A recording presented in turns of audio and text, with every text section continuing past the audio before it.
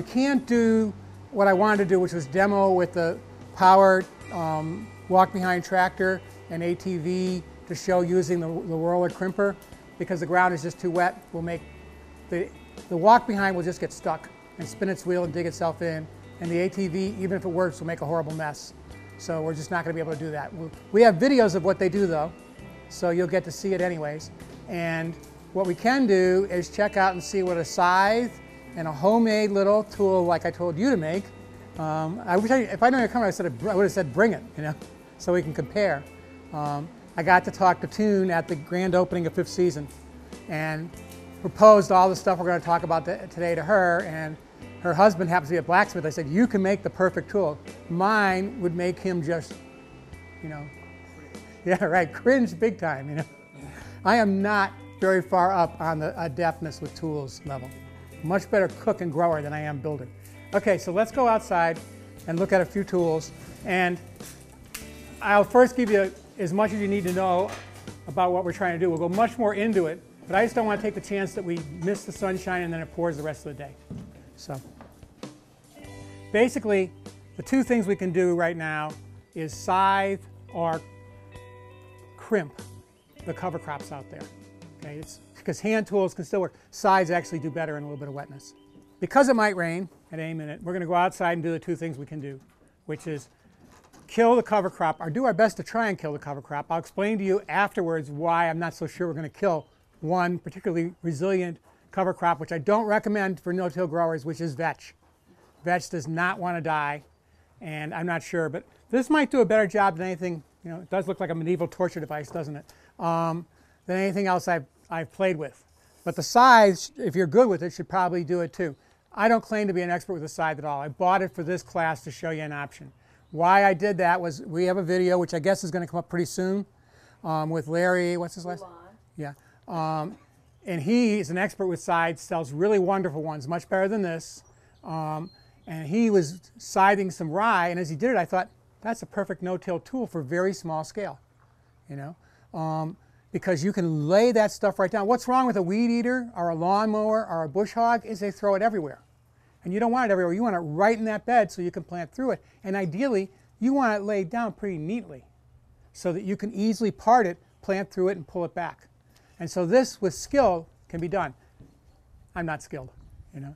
Uh, you all can take a shot at it. I can see how I can get there pretty quick. I was learning real fast, but I wanted to leave the cover crops we have for you all to practice on Anybody that wants to can have a whack at this, no pun intended. Okay, um, so that's the one tool, and then this one here, this is the one that I bet Doug made a much better version of than, than I did. But um, I learned about this from Rodale, and I've meant to make one forever, and I did for this class. Um, we have a roller, so we don't really need it. But I'm realizing that possibly this could make the use of the flail mower easier because can you see out there where all the really dark green is? Dense green, that's vetch. And when we have to try and flail mow, which is a special kind of mower that has chains that cut and flail it and chop it up fine so that you can easily get through it rather than throwing it all and drop it right in place. When we try to flail mow, it's a process of like dipping that thing up way high, which probably doesn't work with OSHA, and like chewing at it and then dropping it down and coming back and forth. If you can knock it all down with this, I think the flail has the power to just chew it up. You know, it's just a matter that it can't get you know, it's being overwhelmed from, from top and bottom. And this might actually fix this. So this here, if you go to the Rodale no-till site, they show this as the option for the home gardener. I made a slight variation. They just showed the person using a chain with, with, with a rope handle on each side. When I did that, I would have needed much more chain, much more weight to get the full width of the bed, width of the bed because the rope pulls it up. So it's, it comes like this. So I made it be straight, you know, with far more plastic ties than you probably need. but it should hold, and that's what counts. So we're going to go out and we're going to play with these two, okay? I'll talk more about all the other tools towards the end. We're going to look at a bunch of tools. Um, we have a John Morrison coming with the World Help. I'm forgetting what the last name, the last word of that of that organization is, but it's this neat organization that's developed a walk behind tractor no-till seeder. And so he's going to demo that. It will be in the greenhouse because we just it's too wet out here to do it. And he'll be here at 4 o'clock. And then we'll also play with this if people are interested. And anybody wants to can try that. But I have to warn you, that was imported from Brazil, so it's not readily available. But all of this really, well, a quick question. How many people here are on a small farm scale? How many people here, how many people here are on a small farm scale? Okay, so this stuff here is applicable to a small farm or market garden, right? That's the same difference, right? And all the home gardeners, I don't think you're ever going to buy that thing, you know? I think you're going to use this, the scythe, this, you know, and this. And someday down the road, and maybe this, flamer, someday down the road, when enough of everybody's doing it, Troy-Bilt and the other makers of small walk behind tractors will come out with reasonably affordable pieces that you can buy and put on those machines. Right now, the roller we got, $1,300, was made for us, you know. They're not readily available. And until they are, I don't see a lot of backyard gardeners buying them, you know. But these tools here will do the trick. We, the truth is, we've been no-till, well, we've had a flail mower, which helps, but the scythe should replace that. We've had nothing but a flail mower in these from 2011 till now, and we've only worked one half of one bed in all that time. And we only did that because we were in a hurry to get crops in, and it would have taken longer to do anything else. And we just, we really wanted that crop in right that minute. So you can do it all without tools. Tools, you know, I mean, with the basic hand tools. It's mostly just the knowledge, and really, our biggest tool is the seeds of cover crops. That's the big tool. That's and much of my slide is going to be about that because those do the work for us, you know, and they have superpower. They have the sun, you know. They do work that we could never believe. They open up the soil better.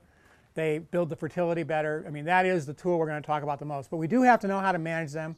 And I also want to let you know this is one of many classes that we're going to do on this. I just put this out there because we need to start the discussion.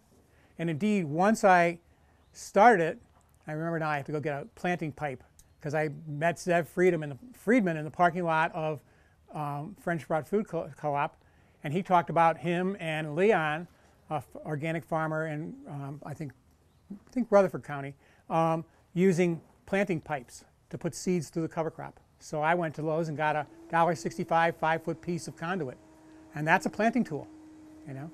And then I got an email from John Rowland of our farm, and he said, I've got these gorgeous pictures of no-till spinach. I'll send them to you, and I'll tell you the story later on. But I realize there's a lot of us are trying to figure out no-till, and it's brand new. So everybody's got ideas. And so next time I think it's going to be a symposium. You know, I'm going to put out a call, you know, not long after we schedule the class to people with ideas, people and see who's got the new ideas and stuff. It's not a competition, right? It's just to find the people with the, the ideas that we don't all already have, and we'll do it as a discussion. You know. And by the way, today, anybody who's been playing with this, who's doing stuff you don't see us doing, I love learning in these classes too. Okay? All right, let's head out. So there's a couple things to know before we start here. One is there's another whole process that I started in December that you can't see here. And Jeremy Greist, who works here, predicted that would be the case. He said, you're not going to be able to find that row. And it was true right down here, and we'll, if we move aside the cover crop, you can see it. There is bare soil. Because last winter I came through with juice pulp, like right there, and leaves, and piled them up about that high. So there's a strip down here that once, if we flailed this and we cut this out of the way, we probably could push that walk behind, push no-till seeder because we don't have all the roots and stuff in here. And that's a strategy you can do. You can have a whole row of cover crop, a whole area that's heavily cover cropped, and just put essentially sheet compost down where you want to plant. And I thought, well, we'll have to be moving it out of the way. I had to come back and add some more on. So there might be something here to show you, and I'll see if, this, if it's even still here.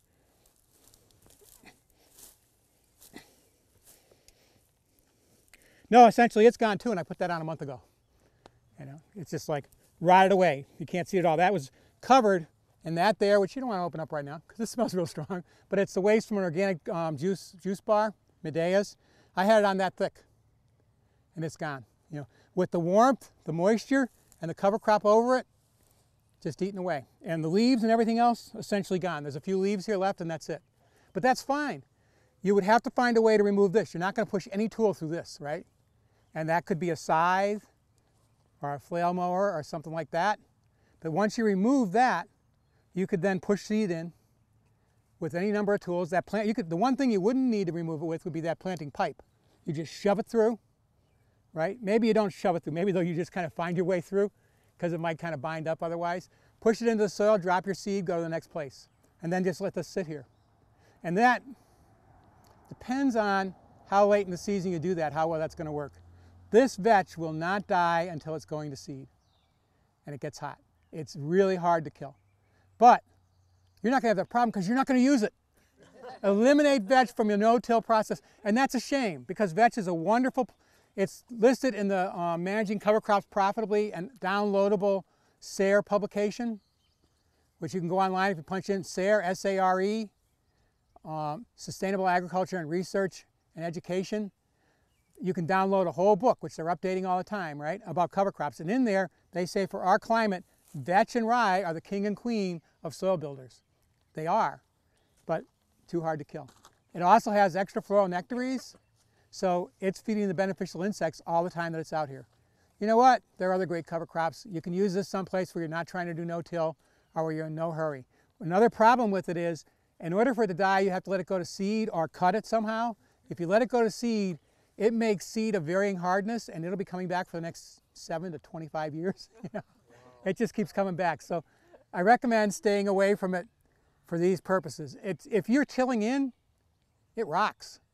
It totally is a wonderful cover crop, but it doesn't fit this. So that we're going to find that all the time. As we evolve our methods, we also have to change our tools, and that's you know that's one of the things. Does it go to seed, Pat? Pardon? When does it go to It, I mean, it's starting to flower now, and there might even be a few pods, so it'll be finished seeding by probably mid-June, I'd say. Okay. You know, maybe a little late June. You know, depends on how hot it gets. If it gets hot, it'll speed up. You know, it's it's going to get it done. You know, and I'm also wondering, this thing is heavy enough. It might be crimping enough to kill a lot of it.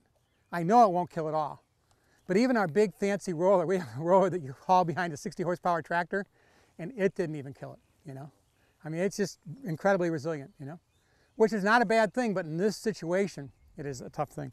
So I went to Lowe's and bought 30 some dollars worth of chain. Came out here and tried to do it, and it bounced off this stuff. So I went into the shed and got another whole 30 um, some feet of chain and put that on there too. So this thing's got some weight. It's not a lot of, you know, I wouldn't recommend trying to do a large area in a hurry. You know, I recommend a bunch of breaks. But essentially what I do, I'll walk down here and show you. And come on down, try to walk, unless you're actually doing the, the this part here, which I got anybody that wants to try, try to walk on the, on the plastic here, okay? And we'll show you what it can do. It, by the way, is utterly ineffective with things like dock. You know, that's just way too tough a plant. It's not designed to kill all weeds. It's designed to kill cover crops. You know, so you're going to want to come back after a lot of rain and yank that baby out. You know, it's really not to not to go away without being removed by hand. But the cover crops will continually take up the space so you don't get a lot more of it. So cover crops are a way to deal with weeds, but these tools that kill cover crops won't necessarily kill weeds at all. Okay, so I come along and I go high first to knock it over. And see even there it bounces back, but now straight down and it's starting to go. And once I got it started, I don't have to go high as much.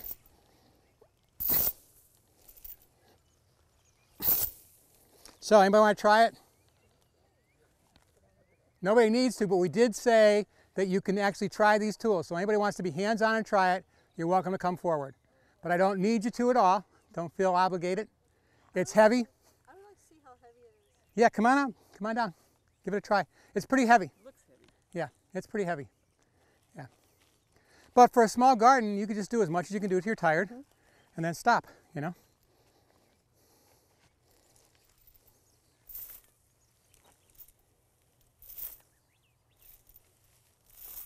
Not too bad, but I can see why you'd take breaks.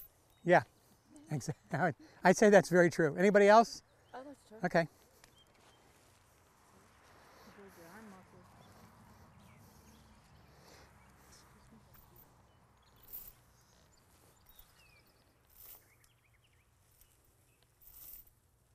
How about a herd of teenagers? A herd of teenagers is a fine thing. The problem is, The problem is that they do much more compaction than one person, and that tool doesn't do much compaction at all. You know, the ideal tool would allow you to do it. Maybe you could from the, except for you want to knock the cover crop in one direction, and crosswise is probably not the direction you want it. You could come from the path and not be compacting at all. You know, Is, is the chain for After anything more than down, the weight? do no, it's for the weight. A, mean, good heavy piece of than the weight? a heavy piece of you know made tool that had like a sharp edge, because that would crimp. You know, is that what you made? That's what I need him to make. Okay, good, great. All right, so now you know, right? Yeah, I'll show him. When you get that made, you send a picture to us, I thought it was. and we'll post it. Yeah, And then if he wants a job, we can get him work. You know. He'll definitely make you one. Maybe you Okay. two sides, like two people. Two people could. Yeah, there you go. Yeah, two people. That's a thought. This person here, what's your name? Libby. Libby just said, what if you had two people? You could both be on a path, not walking in the bed, right? And come from each side, and that would make it a lot easier, you know? See, now you'd want to back up and really cream that vetch that you passed by, because that's going to come right back, you know? Now, do you Yeah. remove this after you break it down? No, no, you plant through it. You plant through it. And then it, that's where you use that planting stick, right? Okay. Or if you have any of the number of no-till seeders that we have, Right. you know, or you could come out here with a trowel or a shovel, slide through it, plant, you know, and then this is your mulch. You didn't have to haul mulch in, you didn't have to buy it. I mean, the cost of straw these days Right? is not sustainable for anybody who's trying to do this to be saving money or making money. But you're saying this really isn't sufficient for the vetch. Um, it's not, I don't know, this is heavier than anything we've used. Maybe it'll kill the vetch, but I'll keep you posted, you know. So far that, the vetch is something that I've decided we just not growing. And I, when I talked to Zev Friedman, he said, I just keep it out of my garden, you know. 'cause- and that's such a shame because it's a great crop except for in no-till. Pardon? Snow chain. Snow chains aren't nearly heavy enough. You need much more weight. Yeah, yeah, yeah. Um, they, they literally would bounce off of that. I had chain that was probably five times heavier than snow chains, and it literally just bounced off the ride. you know, I mean, which is hard to believe, but all that mass and it's resilient and green, you know, and it just didn't happen, you know. Um, so, yeah. I used a string trimmer this year. I had something like this. You know, I got it from Walnut Creek, the mix. Uh huh. Um, and it seemed to work. I mean, I just had it so that Well, the truth is, a string a string trimmer in this kind of situation would be great because it doesn't matter if you're throwing it everywhere because you've got everywhere to throw it. yeah. But if you've got a bed, a string trimmer doesn't work So very well. that's the only disadvantage where it throws it. String trimmer, trimmer, lawnmower, and rotary plow. Their problem is they don't drop it right where we want it. You know. Well, actually, there's another advantage.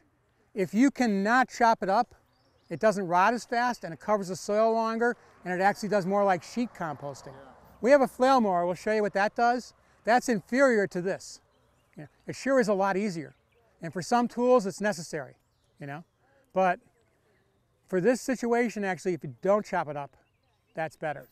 Now, actually, what we're talking about using a trimmer is we've got a field full of vetch, and we're going to roll it down, but then the vetch won't die, and we're thinking of coming with a trimmer and trimming a hole that'll kill the stuff right there, and then planting in that. And then by the time it gets hot enough, it will die, and that so using a and actually I'd probably rather than a string trimmer, I'd take a blade because it'll really come in and just a precise little hole, just zip out next place, zip out, and make these holes that you plant in. Then you pull the cover crop back over, and by the time the, the um, crop is getting taller, the vetch is finally dead. You know that doesn't mean that we've solved the seed forever problem, but we're stuck with that. You know, I mean, um, yeah. Oh yeah, but buckwheat is not a summer, a winter cover, crop. You know, buckwheat is a great crop. It doesn't give you nearly the um, volume, but mixed buckwheat mixed with cowpeas, you know. Um, and we love buckwheat for so many reasons. I'll be singing the praises of buckwheat all day long. Anytime, anytime just shy of last frost. It, it's about one tenth hardy. It can take the lightest of frost, you know, um, if you're willing to gamble. Otherwise, you wait till you're, you're sure there's no frost, and it will kill with the first significant frost. Anything that's like below 130, anything that's like 130, I mean 31 or lower, is going to kill it. There's a tiny chance of a frost, but I'd gamble because it can take the lightest of frost. Yeah, I'd go with it totally. And we'll talk about that more, but let's say you had this cover crop here and you were going to mow it with the weed eater or a flail mower. We'd come in with that um, buckwheat and cowpeas and we'd seed it right into this whole mess. And then we'd come through and just like knock it all down on top of it. This would mulch the cover crop, the seed, nurse it. We do that, I'll show you. We do that on weeds everywhere. It's like that we got that no-till part aced. I mean, we're just rocking with overseeding and chopping and dropping. We get spectacular results. And the mulch isn't too thick to allow the seeds to come up. Nah, they're sprouted and they look. You know how they just look for light. You know, they find their way up through. I'm sure some are delayed, but they still find their way up. You know, um, we get wonderful seeding. You know, um, So you could broadcast seed on a heavy mulch before you cut it. before you cut it? Before you cut it, yeah.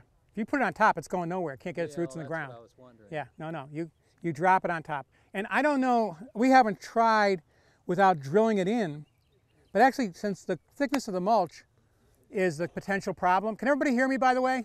Okay. Since the thickness of the mulch is a potential problem, I can tell you that we are trying to eradicate this terrible weed called mugwort, which I'm not going to go into a lot of details right now, but if you want to know about later, I'll tell you horror stories for a good couple hours. Um, anyways, we are getting massive cover crops, no-till drilling through masses of um, cover crop and the seeds coming right up through it. And we also have at times um, just seeded over it and then rolled it down on top and it still came up through it. So I do know that this, even here it works. But that is, there's one difference. That is cover crops that are all going one direction and aren't matted like this. This matted tangle might suppress seed for a little while. You might need to cut it or do something else. But since you're not going to make the mistake, mistake of growing the vetch, you won't have to worry about that. You know, um, a lot of caveats today are not going to matter if you just remember don't grow the vetch if you want to do no-till. So what do you think, folks? Is that a tool worth using? Yeah. Kind of fun. Definitely. If you do it together, it makes it really easy too. I see Tom cheating there. Yeah. I like it you can use, Using his body weight. you can use your core and you can use gravity, so you're not using a lot of Um, yeah, I mean, a board, you know, you would have to step on it like that. And the, the problem with doing that is it is effective, but you are creating more compaction, you know, by stomping like that. Even walking is some compaction, but your weight's distributed on top of the grass. But you've made this point now of pressure, and now you're stomping it in, so you are causing more compaction. Don't you want them to go down? You want them to go down, but you don't want to compact the soil below. See, that's, the, that's why that, although it looks more effective, may not be as good, you know.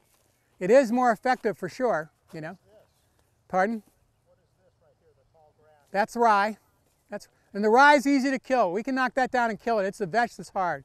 And by the way, folks, that's a specific rye that we got to get fifth season to carry. Wrens Abruzzi rye. You want to use Wrens Abruzzi rye, and the reason why you want to use Wrens Abruzzi rye is in this kind of a cool. We've had kind of a cool spring, right? Several blackberry winters, you know. Um, and the other rye would still be barely going to seed, and nothing is going to die till it goes to seed. Until the plants have their energy above the ground, if, they're, if it's all down in the roots, building up their head of steam to make seed, they're not dying. So the Wrens Abruzzi rye doesn't go dormant. It grows in every bit of warm weather all winter long. And it's ready to kill, if you got the right tool, as early as mid-April. Whereas the other rye should be ready right now, but in a year like this probably wouldn't be, you know. This, this Abruzzi rye right now is very ready to kill, you know. And it's, Tell me if it's ready to kill. Um, by the fact that it's making seed. You know, that's how. You know, um, once they're making seed, they're doing what any plant does. All the energy goes to the future. Not worried about the past if it's an annual, right? So it's very easy because they're just like they got nothing down below. You knock them over, crimp the ability for them to get more nutrients back to the roots, and like they're out of steam. You know, so that's that's why we use Wrens Abruzzi rye. And, and varieties and types of cover crops are real important, and I'll tell you everything I know about it. But when we got the slideshow, if it's, if it's raining, know. What about uh, mustard as a co- cover crop? Okay, what about mustard as a cover crop? Great question. I used to be totally disdainful of growing brassicas as cover crops because if you think about what we can grow here in the mountains, we grow a huge amount of brassicas. And they have diseases and pests. And I thought, why would I, you know, make my rotation even harder by growing them? Last year, I gave an all about brassica talk. When you do that, you figure you better go on and make sure you know, know everything you can about brassicas. And I'd forgotten that people grew brassicas as a fumigant to kill soil diseases.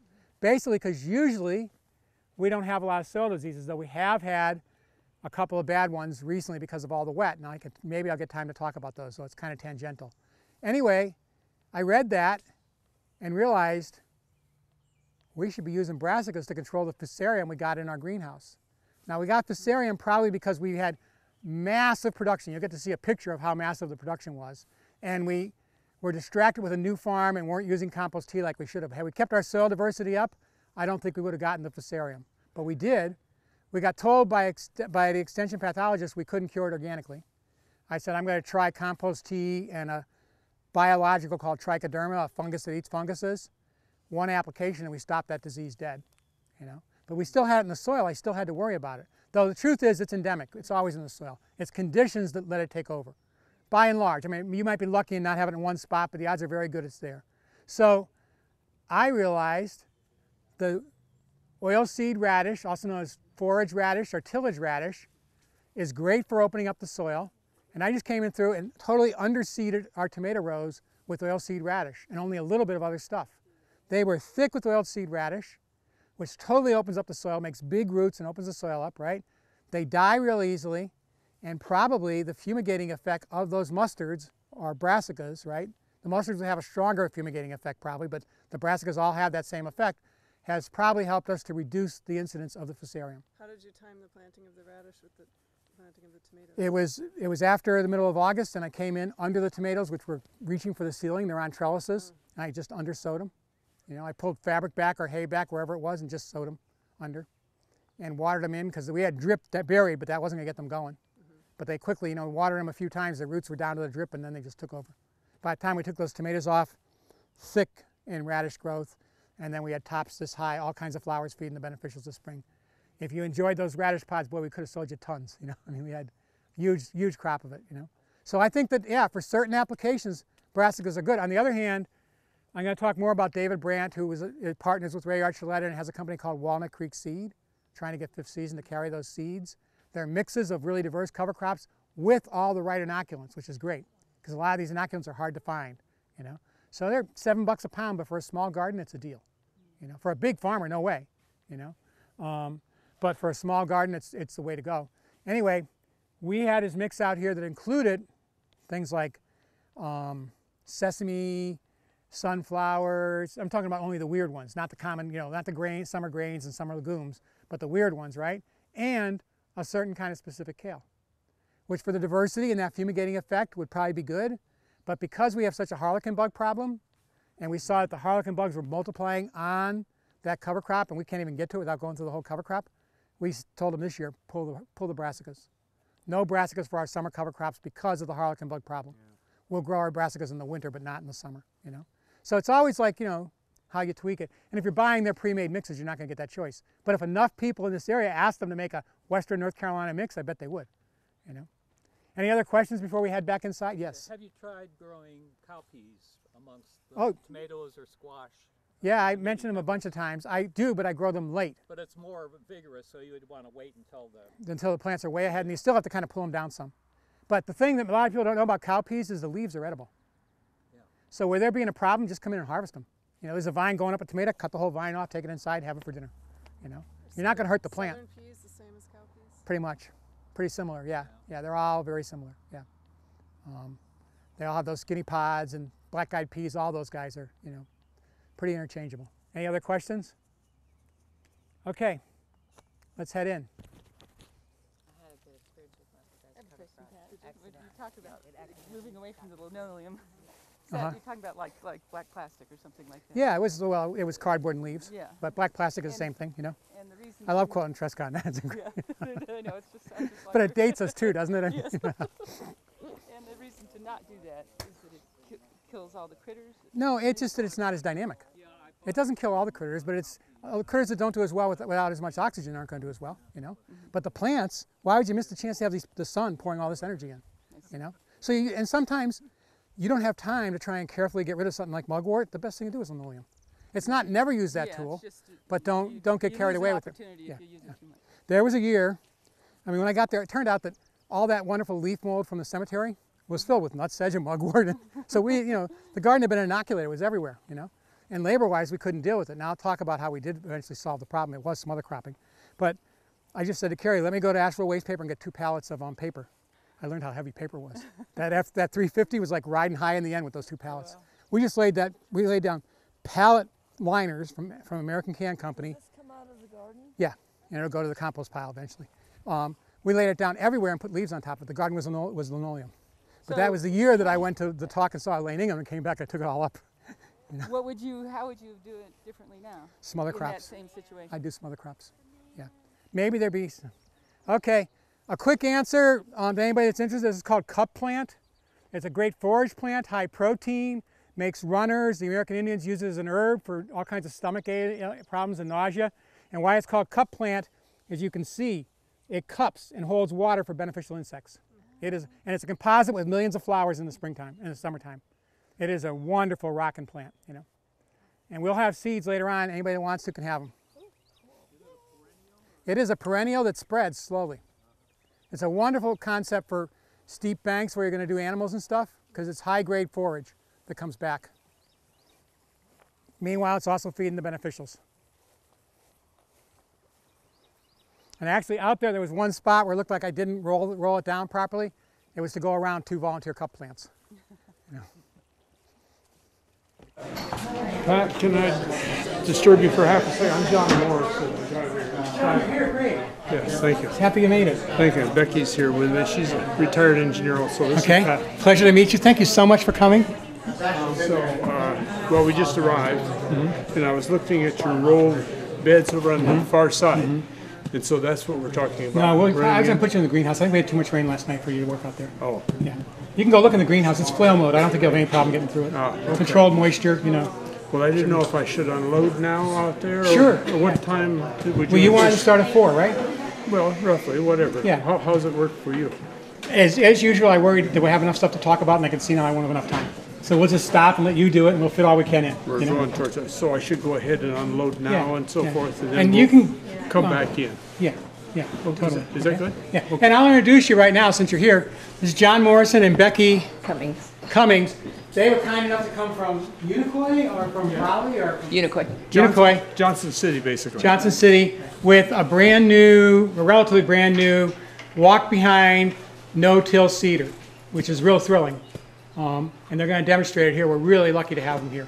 So you. that'll happen Thank you. sometime around four or after four. Thank you. I'm going to get a cup of water here. I wouldn't have that title if it wasn't for my IT expert and intern of the moment, Mark. I am so grateful to him. I, I'll let him tell the hilarious stories of how good I am with a computer. Um, anyway, before I start, I want to say that when I conceived this class, I really was a little evangelical. I was kind of like, no till is the future.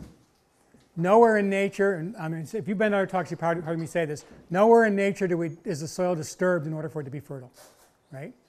But then this spring, because we're having, and I highly recommend this workshop, Jeff Poppen, Craig Siska, and Amy Hamilton coming out and teaching biodynamics. And I, I wanted all those people, we all wanted those people, because all those people do biodynamics in a way that's accessible to anybody. You don't have to know all the theory, you don't have to go off into the stars with Steiner. It's just really good practical stuff that helps you to grow very well.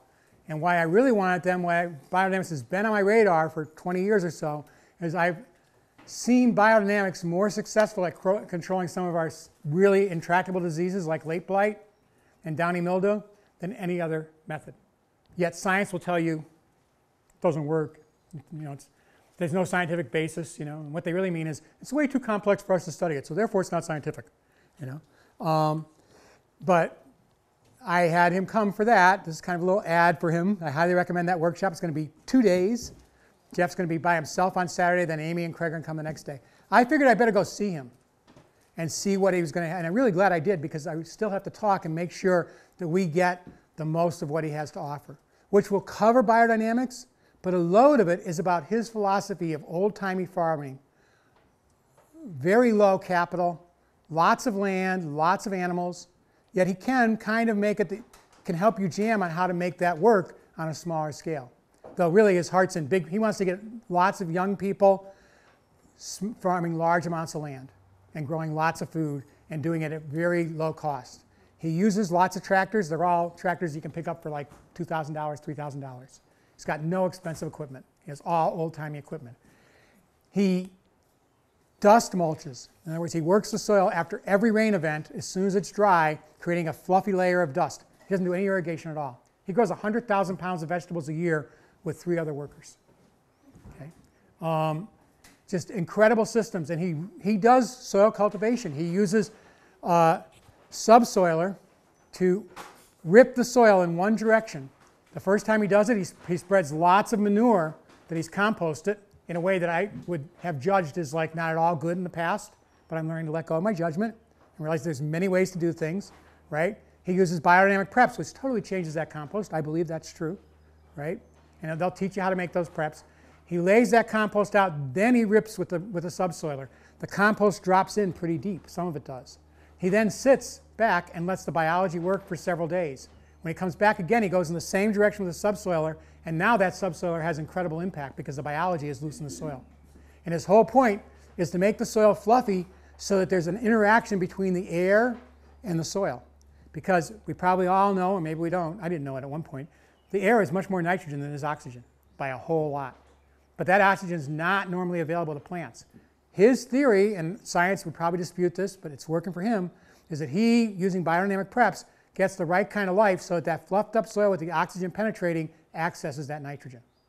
He uses very he uses cover crops and that compost and that's it. And when I look at that system, I realize that for beginning growers, if they got to inherit a family farm, or they had some other way that they had access to the land, right? If they're willing to work with animals, that they could actually afford to do that really quickly. Whereas the kind of stuff I'm talking about, the equipment, you know, the no-till drills, fourteen to twenty thousand dollars. The roller, I think it's three to six. You know, much more expensive. You know, not as accessible. And then you still have to do irrigation. The fact that he does this without irrigation is very impressive. So I have to go. I'm still promoting the no-till. I see that as the future in many ways, especially for small growers. But I have to accept that there's this other way, and it has a whole lot of validity. And indeed, if he really is getting that oxygen to get into the, I mean, the nitrogen to get into the soil from the air, we got to look at that, you know. So, had I not gone to that workshop, you would have never heard this part. But it just reminds me that there isn't any one way. You know, Toon was asking me a bunch of questions about the linoleum and why it was wrong. It's not wrong. There may be times when doing that kind of mulching is the right way to go. But you have to make those decisions. You learn all the tools and you apply the ones that work best for you at the moment, you know. And so with that caveat, we'll start this. And Mark, do I just hit the button or something or? You have a clicker? Is this it? Cool. Okay. All right. So I just hit the center one, right? Okay. And I am really bad at all this stuff. Yeah. Okay. So if you go right, next. Okay, back. Okay. All right, cool. All right.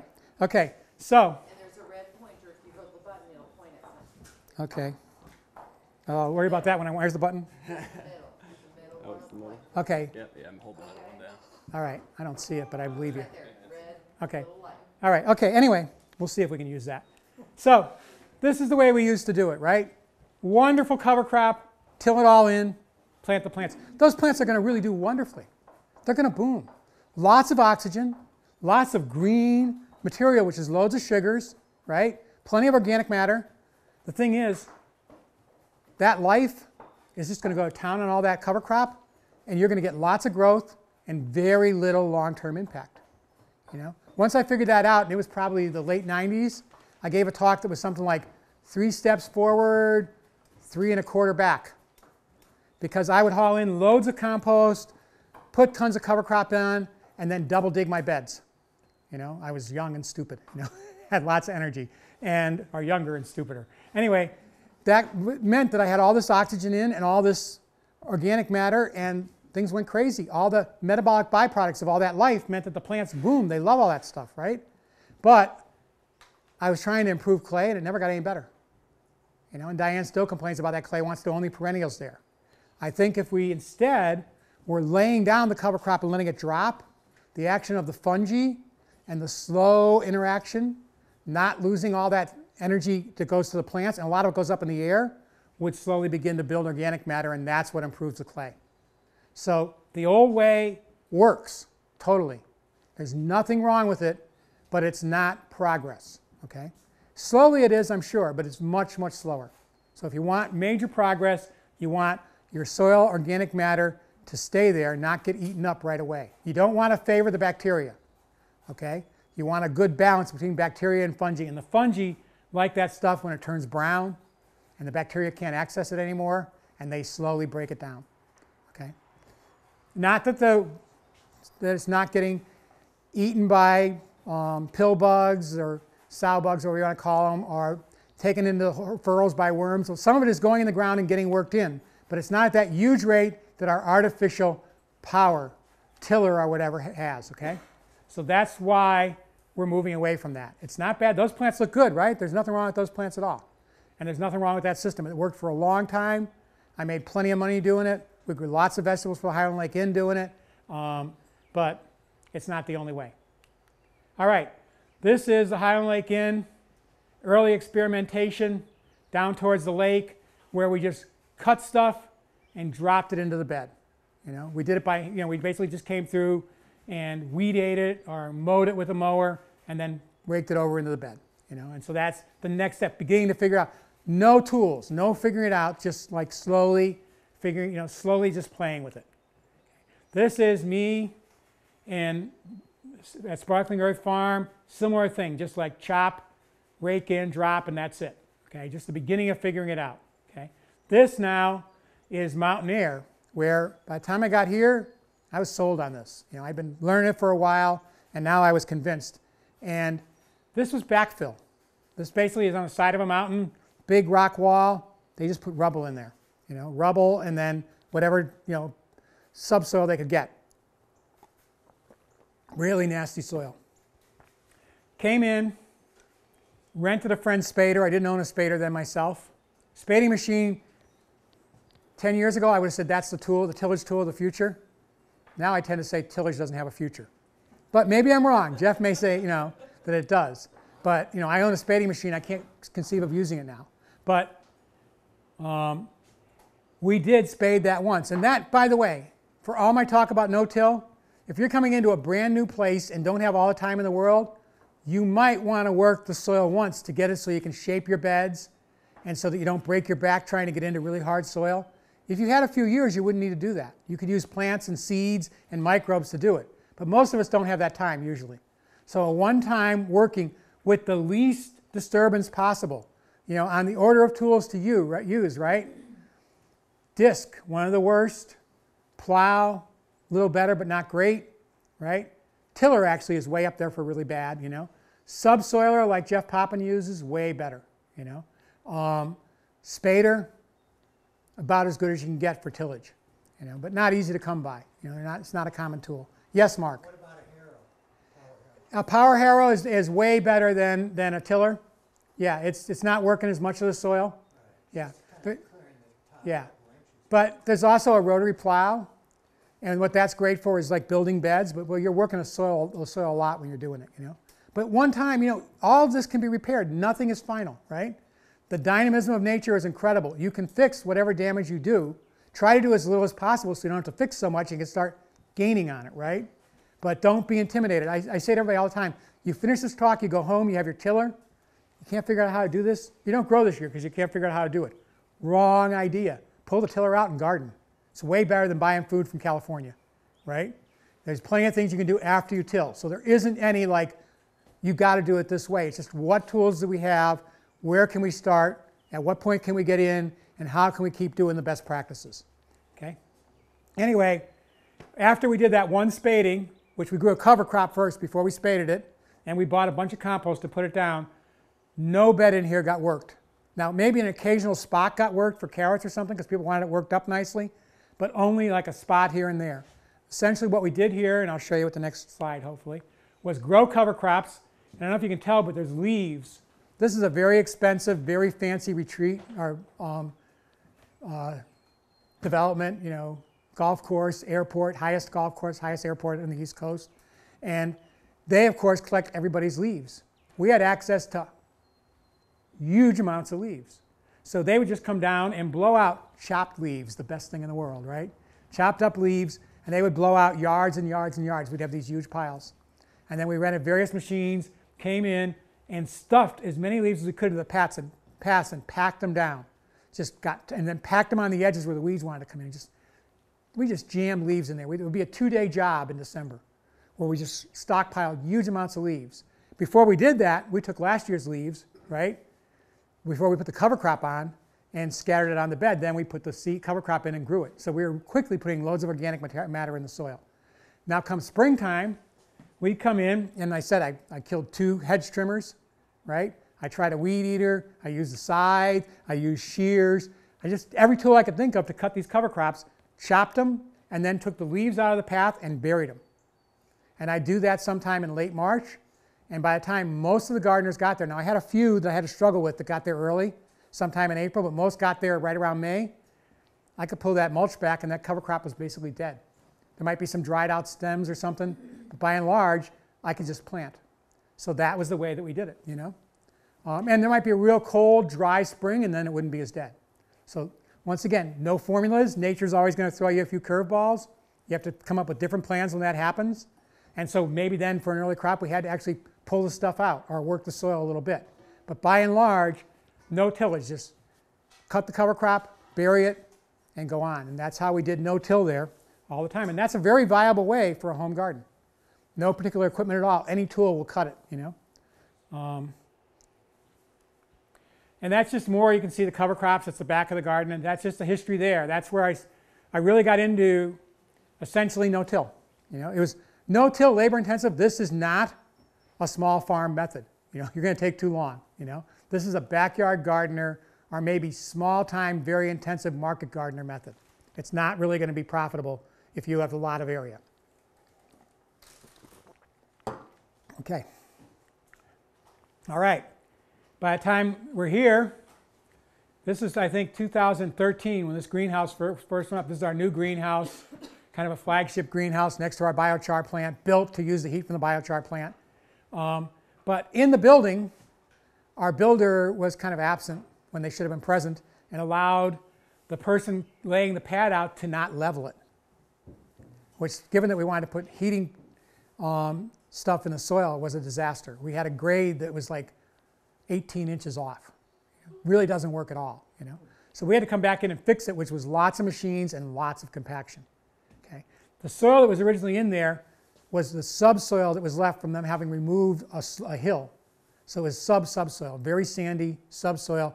The lowest um, cation exchange capacity I'd ever seen, I think it was like two or something like that. Cation exchange capacity, for those that don't know, is a way to measure the ability of plants to hold basic minerals and make them available. Minerals like calcium, potassium, uh, magnesium. Okay, so it's a measure of fertility, and it was absolutely terrible there. Okay, we did a few things. We made, we bought biochar. We weren't making it then. We inoculated that with compost tea. We put 5% biochar into compost that we had, and we also got, we were lucky to get given 20 truckloads of pond muck that was 8% organic matter wonderful gift. We're still hoarding it and just look at it like we're rich. Okay?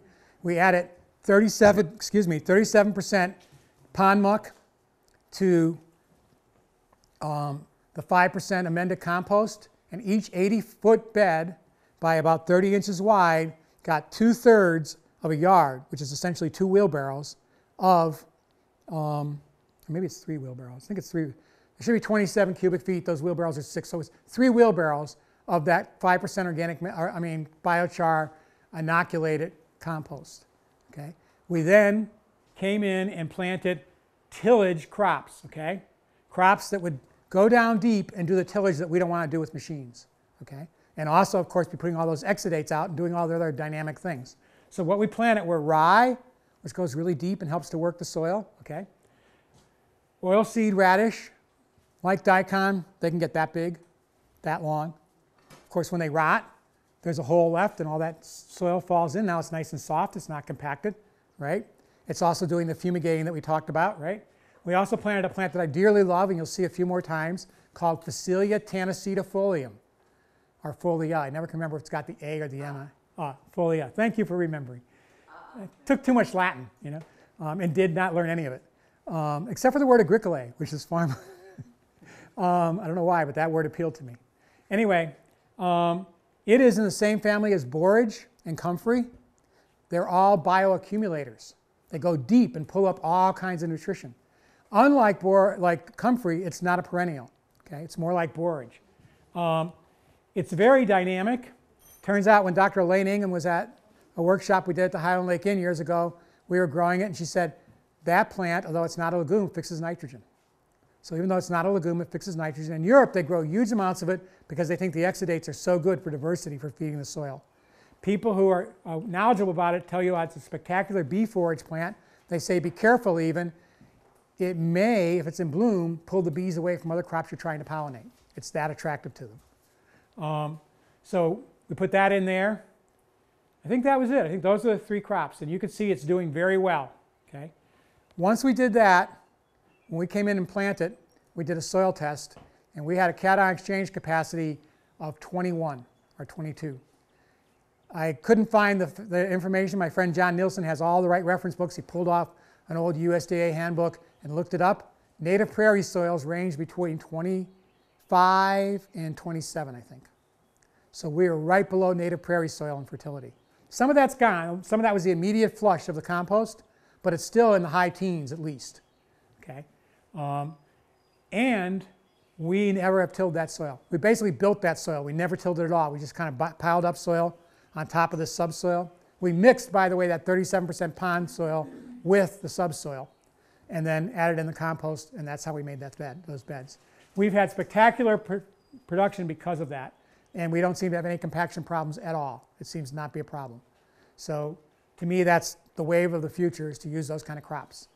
Um, and we'll talk more about them because I tried a similar mix out here that was supposed to winter kill, and it did not. Yes, Mark? So you just laid that down or you chopped it? Um, yes, we, we, we flail mowed that. We didn't have a roller by then. We flail mowed it, yeah. But you could roll that and it would die off? I don't know.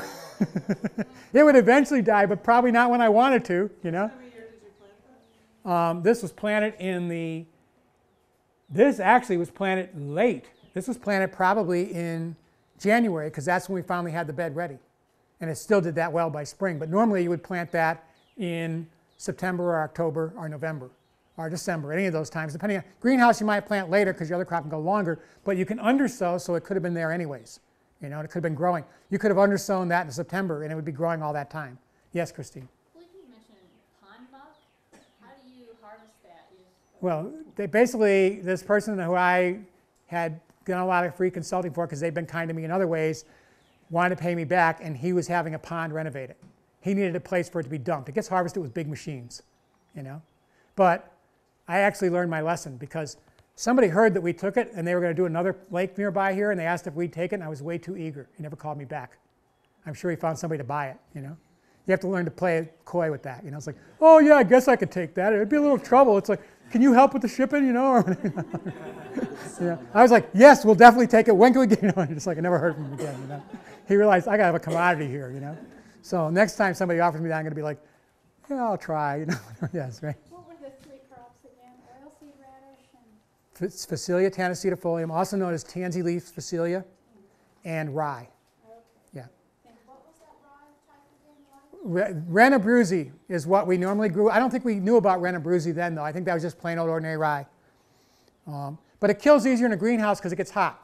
All these plants are hard to kill. The hotter it gets, the easier it is to kill them. They're all cool season plants. Okay. Okay, that's the oilseed radish where I said I planted it for the tomatoes in bloom. Okay, going to be very easy to kill, lots of biomass when we kill it. I don't know if I have a shot of it. Looks really messy because they're big stalks. They chopped up kind of messy. But right now, it is feeding the beneficial insects spectacularly. We're getting a huge jump on biodiversity by having all those flowers. You know, this was probably early April that that was time to mow it and kill it. You know, and of course, had we wanted to, we could have come through and harvest large numbers of oil of oilseed radish seed pods, which would be very tender, juicy radish, kind of little hot, little sweet tasting vegetables. But we didn't take the time to do that. We just kind of took it out. There's another shot of that cover crop, same cover crop. It just did spectacularly. It just had everything it needed and got us off to an amazing start. Um, here, we really were on our way. We, had, we weren't tilling, right? Um, we flail mowed came in, planted, but we didn't save the residue, so we had to haul in straw to cover to mulch the plants. Now, if we rolled, we'd separate it, plant through, and not have to haul in straw. So we're part way there at this stage, but we're not all the way there. Patrick, Yes. um, are, where did you get the straw? We actually were lucky enough to know when Jason Davis, a local farmer, was doing his one-time experiment with wheat, and we bought a lot of straw. But it's not easy to come by. You just got to ask around, look for a farmer. Rye straw or barley straw are more likely to be gotten. You know? Uh, My concern is that so much of the straw that's available where we're at may have been uh, no-till farming Oh, with the- glyphosates. Well, glyphosate is one problem. That, that's a problem for sure, but there's an even bigger problem, which is this whole class of pesticides that if you use them, herbicides, you can have basically a toxic effect on many crops, including tomatoes, for many, many years. You can find out about which one those are, which ones those are by contacting, um, by getting, going to Jeanine, Dr. Jeanine Davis's website. Okay, so these crops here are all growing on the top of cover crops that we rolled and they're doing very well, you know. Now we did actually come back for some of them and put plastic over them, you know, just because we didn't want to take a chance on weeds coming back up. And we also wanted the heat for the cover crop, you know. So not plastic, we use fabric which has the ability to breathe, you know. So we did a, a hybrid, and you can do that, you know. You could come through, knock your cover crop down. Oh, I don't know if the peas all died, but they're hurt, right? Pull some black fabric over it, they're pretty much done, you know. Um, it's not that easy to drive staples through that much bulk, though. I'll tell you. You know, I mean, what's wiser is to maybe where you planted your peppers, you have some bare soil and stretch your fabric to there, and then staple it down there, and then you got this weird kind of bulky-looking, ugly thing. But eventually, it rots down and looks nice and neat. You know, within about a half a season. Okay, massive yields from these things. I mean, Meredith, did we ever get a count on the uh, on the cucumbers? How many pounds came from that row? I couldn't tell you off the top of my head. Yeah. I really want to get that figure because I think I can claim 3,000 pounds. I think we probably have hit 3,000 pounds from one 80 foot row of cucumbers. Just incredible yields. And we'll see a picture of what the tomatoes are doing eventually here. Okay, that's just more examples of that incredible fertility. These are tomatoes, Mountain Fresh Plus. Marshall is a commercial grower who grows with us. It's the most widely grown tomato on the, on the East Coast. He likes growing them on stakes. He couldn't believe how good the production was one year. The next year he tracked it. I think it was 26 and a half pounds per plant. And that's like, he said, the very best conventional grower on what they call virgin land, which is land that's been in cows for years and years, with a cube of chemicals per acre, I think, per week, gets those kind of yields. Compost tea, once a week, you know, two tablespoons to the gallon was the most this got, and it didn't get it every week, right? He then did it again last year, and I think he was like, I think I did the last figures, or he did one more to me. We were pushing 30 pounds to the acre, or maybe, I mean, 30 pounds to the plant, or maybe 31, 32. Incredible yields um, because of no-till, compost tea, biochar, all these things combined together, super fertility. That's an example. That's, you know how you get clusters of tomatoes? There's 10 of them there. They're all full size, you know. I think I mentioned because we weren't keeping the microbial diversity up, those tomatoes did get fusarium. You just can't put that much fruit out without weakening. You know, I said earlier, right, the plant's going to put its energy into making seed. So if it's making that much seed, it's not doing a lot of defense down at the root section. Doesn't have as much exudates to feed the bacteria that we know keep the fusarium away. But all we had to do was get wise, start doing compost tea again, use an antagonistic fungi, and we solved the problem. And then to be sure, we grew all those oilseed radishes that you just saw so that we fumigated that fusarium and knocked it back into its quiescent stage. It's always there, but now it's asleep and it doesn't have an opportunity because we keep our diversity up and keep it controlled. And I guarantee you plenty of scientists go, he can't prove that. He's talking out of his head, you know? Nope. I'm an organic farmer. What I have to say to them is, you won't test these kind of tests because they're way too complex. It works for us. Get out of our way. You know? I don't care if you think it's scientific or not. I'm going to pass the information on that I get from observation. We wouldn't have the theory of evolution if it wasn't for observation. You don't have to do replicate a test of everything to say something that has some validity. Excuse me, that's a that's a bully pulpit that I can't resist, you know. Thank you, sister. okay, rolled cover crop. You know, the truth is, There's vetch in there and crimson clover. It didn't die too well. We struggled with it, but we made it work. Yep. This is, should be Rocco using our roller.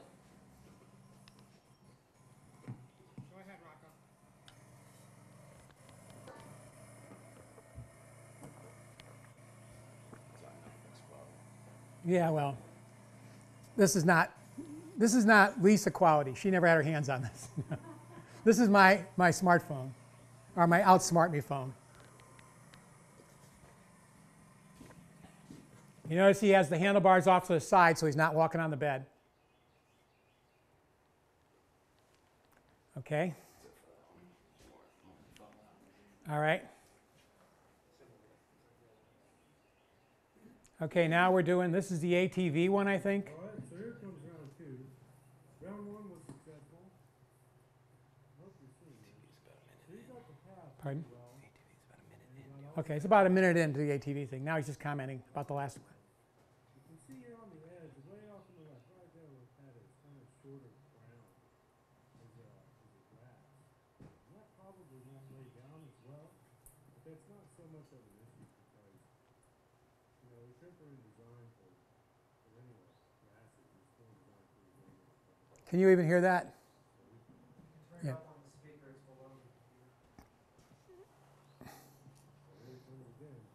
Look out, Karina.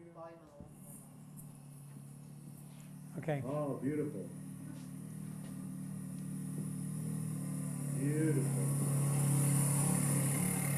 There's the crimper at work.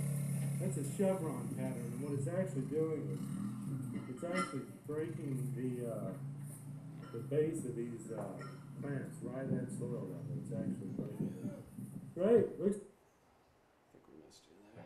Yeah, how did we miss me? Where did, where'd I go? It's all right. Let's, uh, let's get you.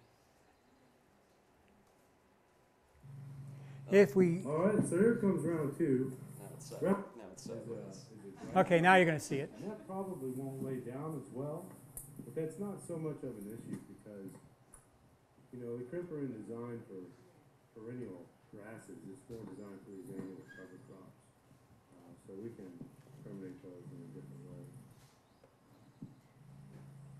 So here he comes again. Look out, Karina. Oh, beautiful. Beautiful. There's the crimper at work. That's a chevron pattern. Pardon? it's actually doing- Oh, totally. That's what I said. Yeah. The heck with the walk behind. Yeah, right. Yeah, right. the base of these uh, plants Yeah. right at that soil level. It's actually it. Great, looks great. Yeah. Um, Yeah, you can stop it there now. yeah, it will because it's pretty. It'll come back. And it did indeed. That was that weedy bed I said that the eight didn't do a very good job at all because there were so many weeds in there, you know? Okay, so now we're going to see the Grillo. Oh, but actually, well, we'll see another picture of that. That's the Phacelia knocked down, and I thought that would crimp and die. I don't know if you noticed, but it's kind of tipping its head up and growing again. It didn't crimp. It got knocked over, but it did not crimp. Have to have you be the narrator. Okay, so, we just used the Pardon? Think you went too fast? And the roller. They say to go fast. Really good way to use Yeah, but I don't know. We're learning. Yeah.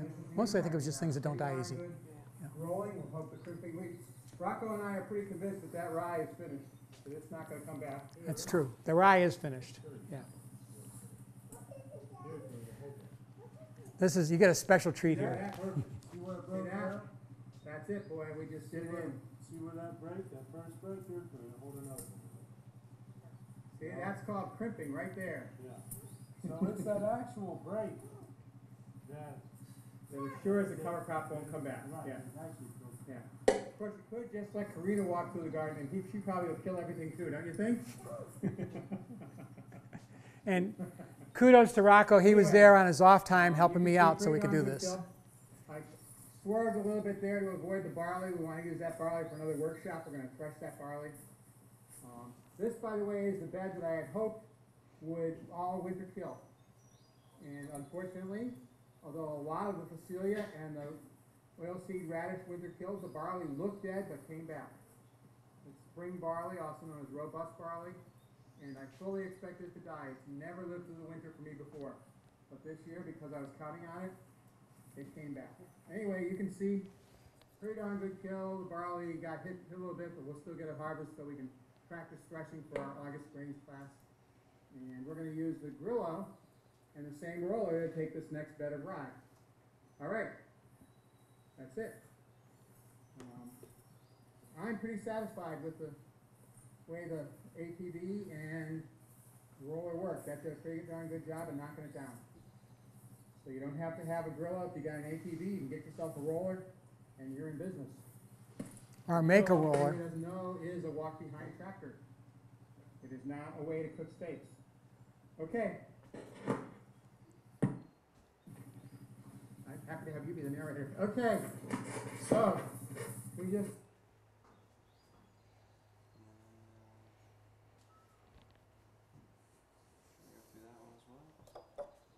Yeah, if it'll play easy, let Rocco talk about the. Or maybe he already did that one. start over. Everybody fine. Okay.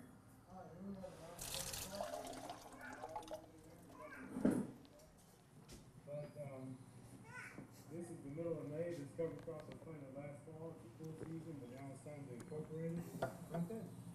It's flowered, the different diversity in here is flowering, means it's reached its peak biomass, and it's a good time to crimp it. Crimping is gonna actually break it right down at the soil level. And, uh, leave it here, leave it whole, so it breaks down a little bit faster, and, uh, excuse me, so it breaks down, the biomass breaks down slower as opposed to flail mowing, for example. Uh, but that will allow us to plant vegetables in this, summertime vegetables in this, and, uh, have an existing mulch and have all this beneficial biomass feeding the soil. Pennsylvania soldier beetle is that thing you going see to there. be, um, impacting our beneficials as we do this, but I think because we're crimping, most of them will survive unless they're very unlucky. That's a Pennsylvania soldier beetle right now, about to see its world a little bit disturbed. All right. Come on, Karina. Gonna go pat. This one, go. Pat's gonna drive down here. Let's stand in the shade.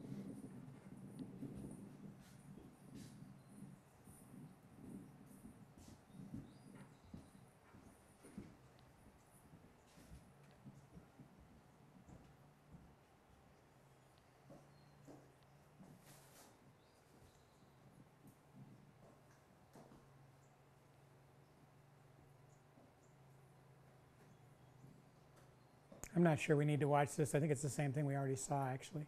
Are y'all dying to see me come down the road again? Was the purple flower the tansy? Yep.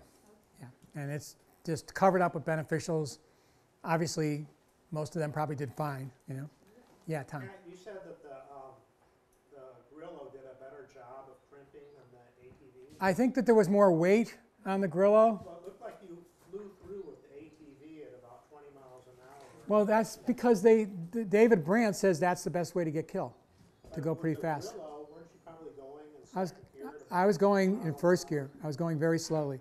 But it was much heavier in general. The whole, you know, it's, the, the ATV kind of is just like, I think I probably should go some slower because the ATV is probably like, that thing's probably flying at times, like getting going airbound, you know? So I probably was going too fast. But that's learning because David Brandt said you want a good clip, you get a better kill that way, which I can imagine if it's the right clip, you know? The grill.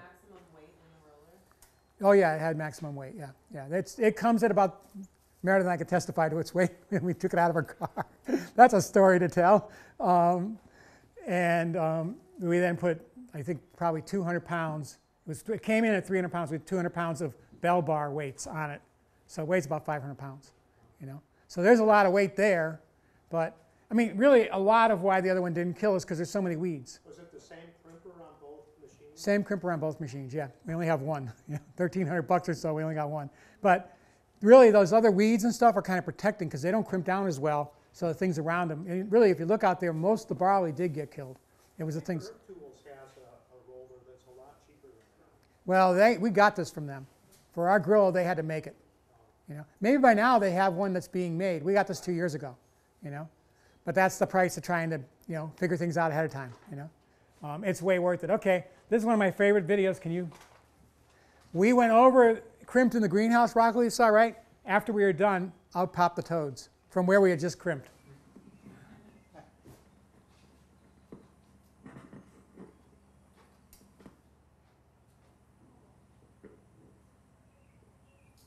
So, two toads came out from where we rolled. So we did not hurt the toads. We knocked the cover crop down, didn't have enough pressure to hurt the toads. Pretty impressive. Not compaction. And that's important. We want to kill that crop but not compact our soil, right? He didn't do his cute little hop. Usually he then hops off into the path, you know, you know, oh, he's doing fine. But he's kind of looking at you like, what did you guys just do to me? You know? yes. A question where? When you knock the, when you knock it down, kind of like the one that you said did better over there with the crimping. Yeah. Um, when do you when do you lay out your beds as far as irrigation and stuff? Um, you would ideally have buried your irrigation in that bed and just leave it in there. And eventually you would have a problem. Some mouse would come and chew in it underground, but mostly it would survive fi fine, you know. I wouldn't try and put irrigation. If you want to put irrigation in a bed after you lay it down, you'd have to thread it through there or separate it, which you could do, but it'd be a lot more work, you know. So, yeah, you will get a lot of evaporation. A lot of that water is going to be, you know, hitting that grass and going up rather than getting down in. So it depends on how much water you have, you know. But if you laid it down, if you laid it down even on the top before you grew the cover crop, the roller crimper wouldn't hurt it at all. You could roll right over it. The fittings, you'll break them, you know. So the fittings can't be on there. You got to take them off before you roll. But the tape is not going to be hurt by that roller crimper. But I think you want it down before your crop gets big. Otherwise, I think you're going to think it's a real pain. And the downside of that is it can get gnawed on, you know. But maybe come up with some real bitter thing you can put on it that makes it less appealing, you know. Um, and I'd run that on the inside because the UV would take it out, but maybe a little bit of neem even. Neem is really bitter and anti-feedant. And if you ran a little bit of neem through those tapes in the fall, probably one bite would be like all they'd take and they wouldn't come back, you know. And one bite, that much of a leak, you know, depends on how many things did one bite though. I mean, you just have to figure that out. We have, we have had it laying out and we've turned the drip on and it's been fine, but I can't guarantee that, you know. Um, any other questions? Okay. This is how it survived. This is what they do. They make these little holes. And so it was in there. But if we had used some tool that was more disturbing or heavier, it would have been crushed even there. It's right at the surface. But in this situation, no problem.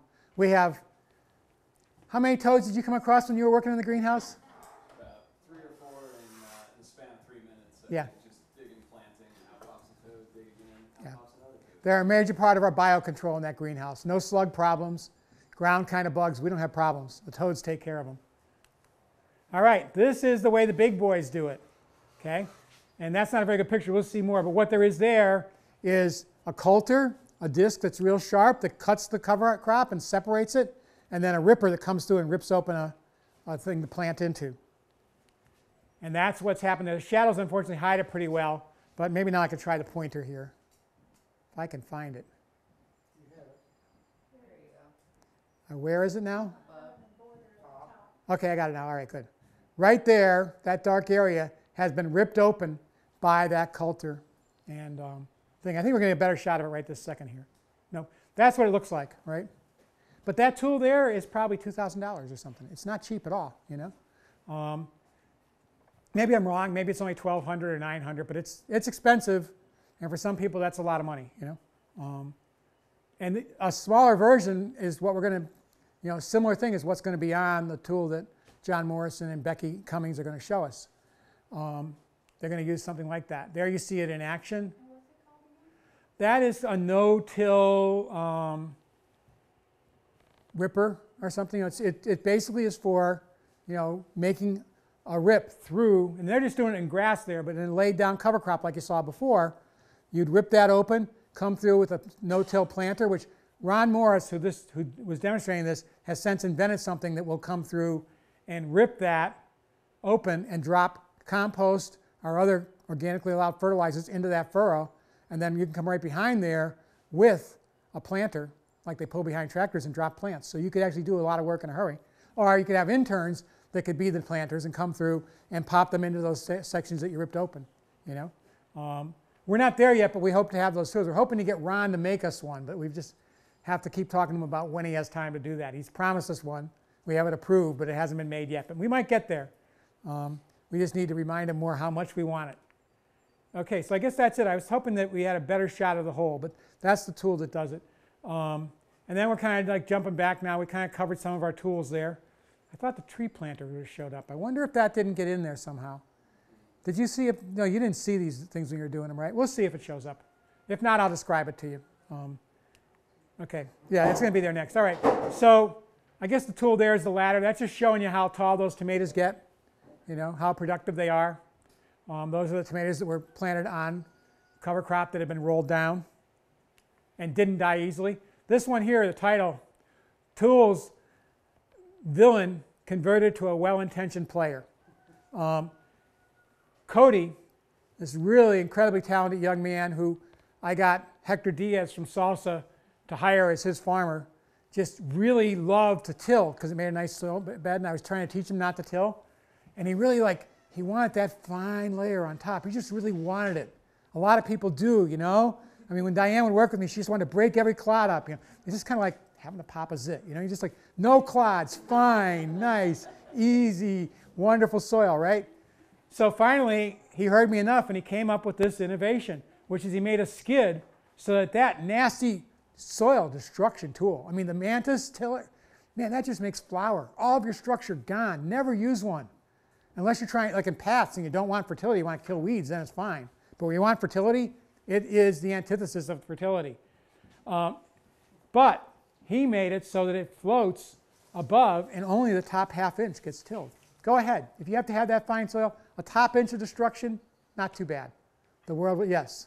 So my friend has a wonderful question about the uh, horse-drawn plow um, versus the uh, ripper thing. The horse-drawn plow, the problem with it is it's going to be flipping it, right? There's more disturbance, you know? There actually are from the 30s and back. We actually have one we hope to rebuild. That Ed, Ed Updike, a long-time attendee here, who now is harder of hearing and can't make it out anymore, he just donated a 1930s no-till drill. They were doing it all the way back then, you know. And that was pulled by a tractor, but with a big team of horses, you could pull it. It's ground driven. You could pull it with that. It's heavy enough you're not going to pull it with one horse, you know. But that, when you're just doing this kind of ripping, it's much less disturbance. And you're, you know, even then, they knew to leave that cover crop residue in there. When you're plowing, you're flipping it. So you haven't incorporated as much oxygen as you do when you till, but you still have incorporated a lot of oxygen, and you're flipping this readily breakdownable stuff, and it's going to go away really fast. Plus, you've done enough disturbance that you know the soil is a web of life, right? And there's life that is supposed to be here, and life that's supposed to be there, and life that's supposed to be there.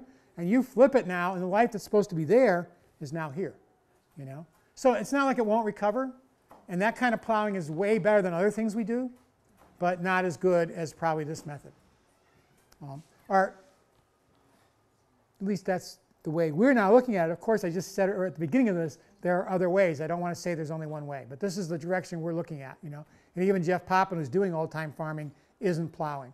You know, that doesn't mean a first time to get rid of bad grasses and get get the the field more level. You wouldn't come through and plow, but then you might try and get away from it after that. Does that make sense?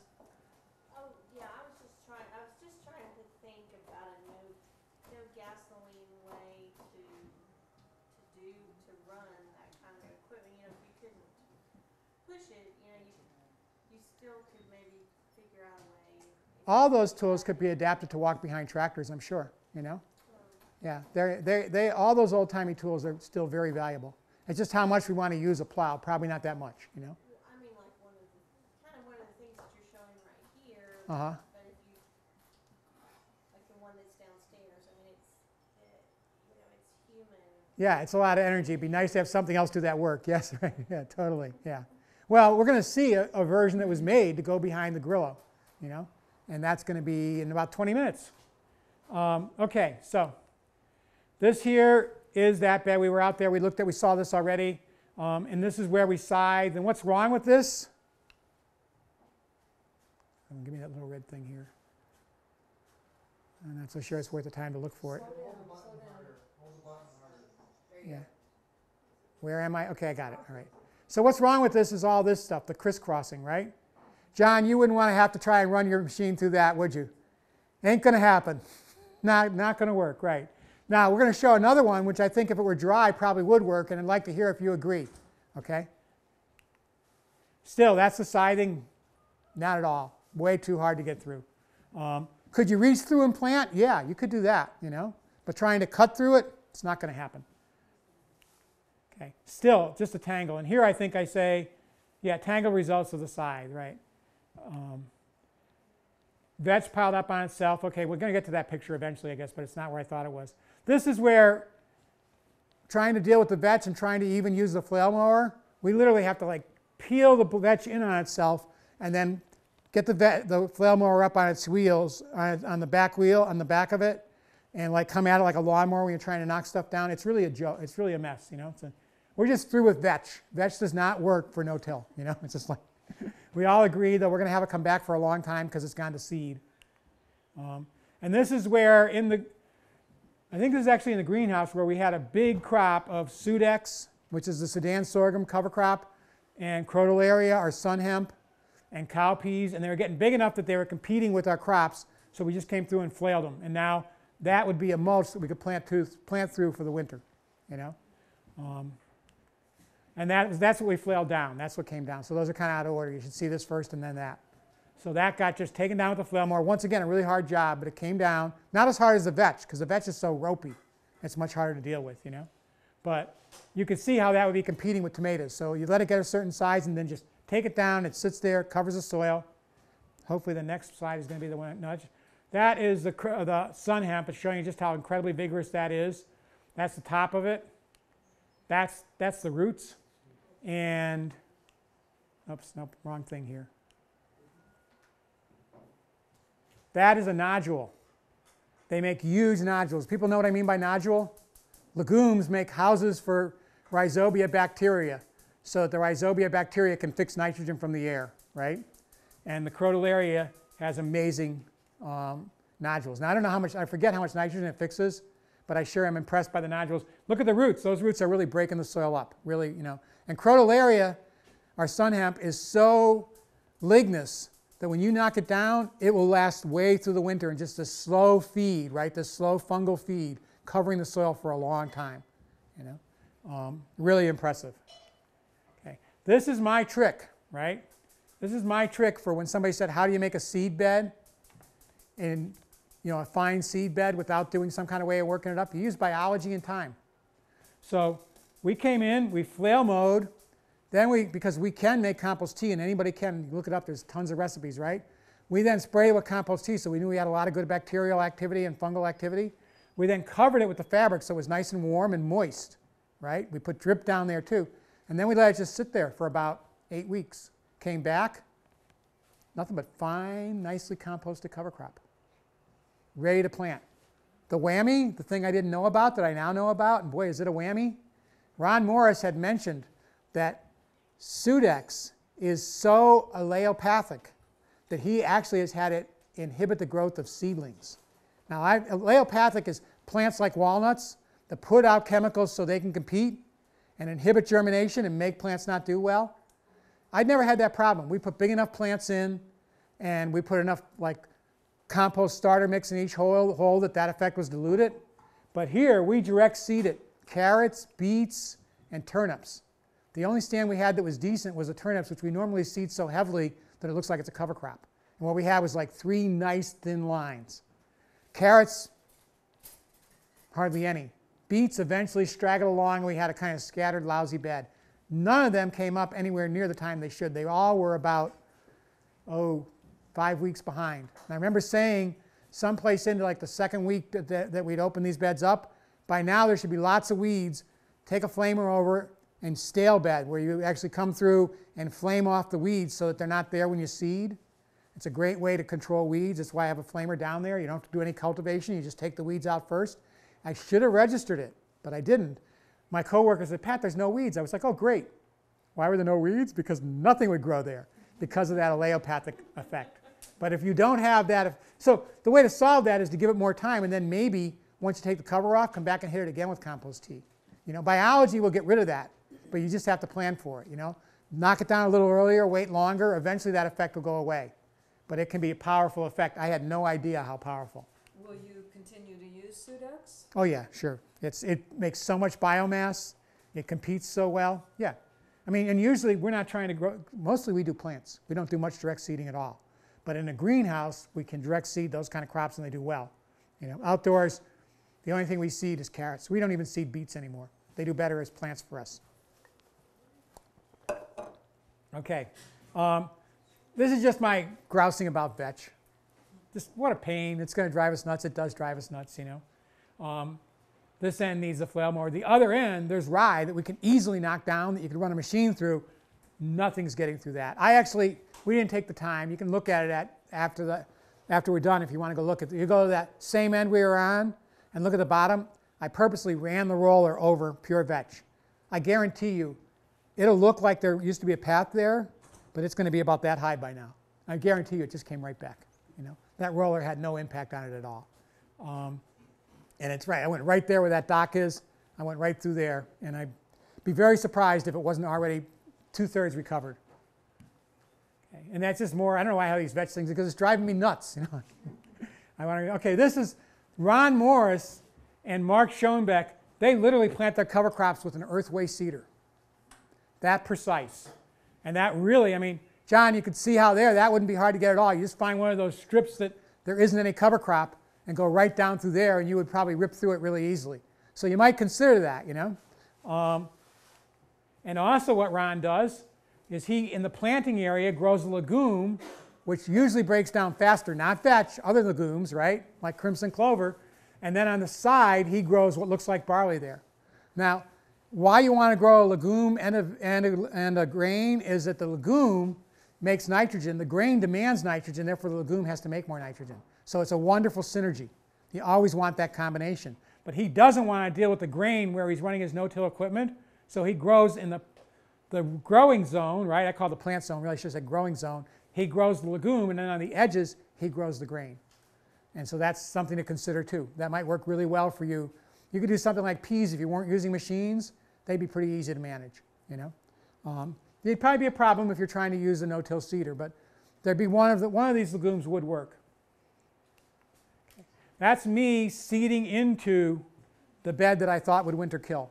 It was a spectacular summer cover crop, really high and healthy. And then right below my bucket and next to me is one of those crops of buckwheat and cowpeas. It's now late enough in the season that the cowpeas are starting to get riddled. The buckwheat's done, but that's where all that um, nut sedge was and stuff, and it's all pretty well suppressed. And the way we planted that was to spread the seed out, come over and mow it down.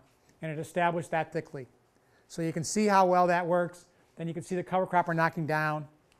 And then, remember I talked about how fast that grew? That is probably about four days after I seeded it. But it was right when that moon was perfect. And it just popped like crazy. I mean, I can't believe how tall it was. You can see it's not even fully green. And indeed, even the oilseed radish is starting to pop. Just incredible incredible if you hit the timing right. And this cover crop, it did spectacularly. That might be why it didn't die so well, actually, when I think about it. I just, it, it had so much nitrogen from the previous cover crop that it just is amazing how well it did. And there's an example, that's how lush it was, you know. What you see in there is just the um, oilseed radish. And actually, there's a little bit of fenugreek. I'll come back here. Well, I look for my, if you see that little dot, tell me where it is. Okay, I got it. Okay. Right there, that's actually fenugreek. You can see it's kind of a legume. And why I grew fenugreek is it also winter kills. It's just too expensive and too hard to find, but it's really, it'd be a great one if we could get it because it, in, in, in tropical countries, I'm sure it's readily available. It's grown as a green in India and of course an important spice in curry. It's also medicinal, but it's very wimpy, so it'd be very easy to kill, but it is a legume. What I'm going to try next year is going to be um, berseem clover because it's supposed to winter kill too and you can get a lot of growth on it. So we'll see. Have you ever worked with berseem clover? Yeah, that's, that sounds like a winner. So that's what I'm going to try next year. I just have learned enough this year to know that it's next on my list. We're still working on what the mix is. There's another shot, not quite so spectacular, not quite as good a take. Some of those weeds down in that spot right there are going to be some of the weeds that you see later on, you know that were there now when we looked at it and why stuff didn't kill so well. But this is the bed that now doesn't look very well killed, but was supposed to die perfectly. And then this here is spring barley almost exclusively. And this year, here in this place, not mixed together with other things, it totally killed in December. I wish I had a picture, but it was dead as a doornail. I was hoping for more growth longer in the season, totally dead, which has been the case usually for spring barley, but never have I grown it as well as I did this year. So maybe you don't grow it so well if you want to kill it, you know. Um, that's that, that whole bed. You can see how well that cover crop took. It just totally dominates. At that stage, had I been able to chop it down then and plant into it, I would have had no weed problems. Those weeds only came back because the cover crop died back and then the weeds got a chance. Right there, I have a, a good smothering. Okay. This here is John Rowland. I love our community, right? John Rowland couldn't make this workshop, but he has our farm up in Weaverville. As I said to him, he, was, he thought he had to remind me who he was. I said, There's no way I don't know you, John. You're in my pantheon of founding farmers for the North, for Western North Carolina's organic farming movement. He's been farming for a long time, sells only wholesale, grows tons of food, and he's experimenting. That's why I want to have a symposium next time with no-till. He planted oilseed radish and crimson clover. What happened for him was the oilseed radish shaded out the crimson clover. The crimson clover didn't do it all well. Eventually, the oilseed radish froze out. This spring, I think he said in March, he came out and just broadcast spinach seed everywhere. It was so dry that it didn't do much of anything. He thought it was a total loss. He even plowed up the middle of it and put uh, potatoes in. I only got one picture into this, but there's a longer picture.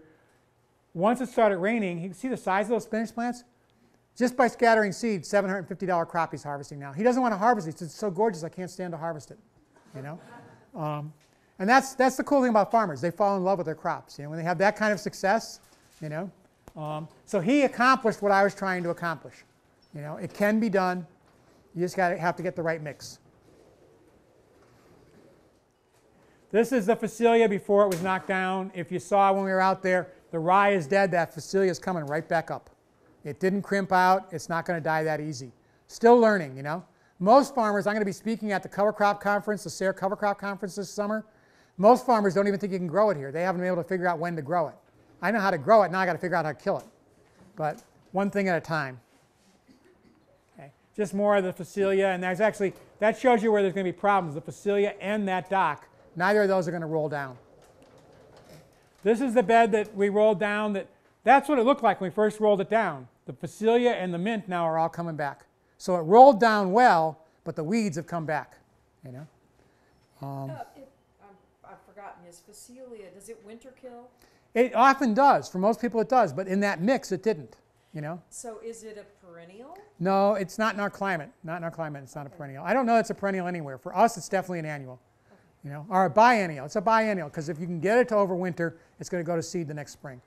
But oftentimes it kills, which is fine. You can put it, really. I recommend getting it in sometime in anywhere from mid-August till late September, early October, and you should get good growth depending on the year.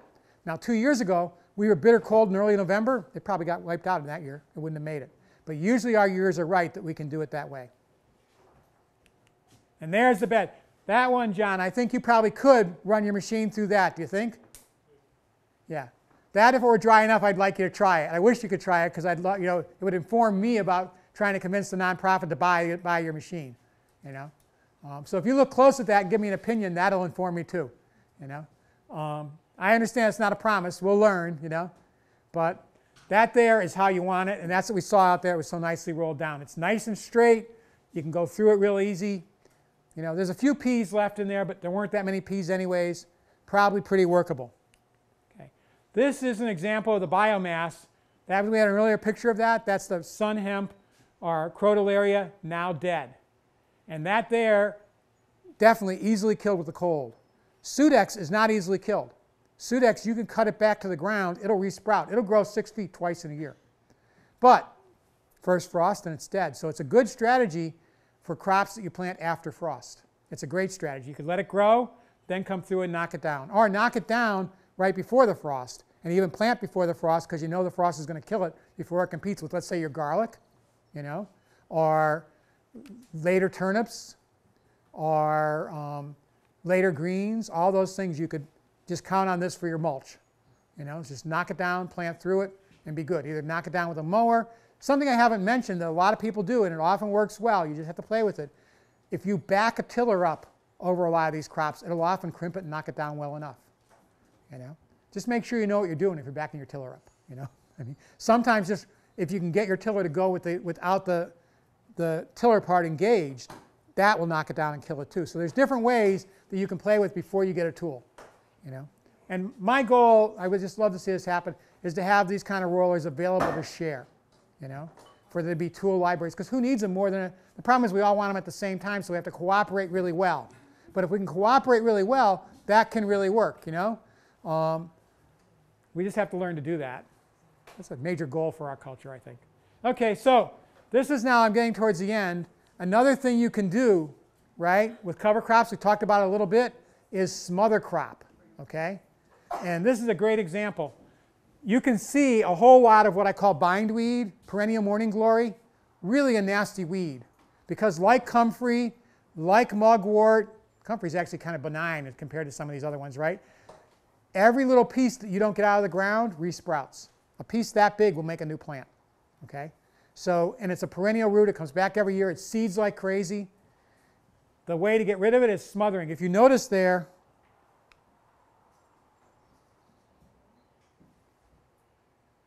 come on, I had you there a minute. Okay, yeah.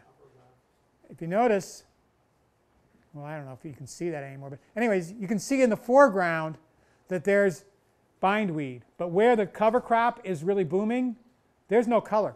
And I can, I can testify, I looked in there and maybe where out here I could count you know, anywhere from 25 to 50 in a given 10 foot square area. In there I couldn't find one every 25 square feet.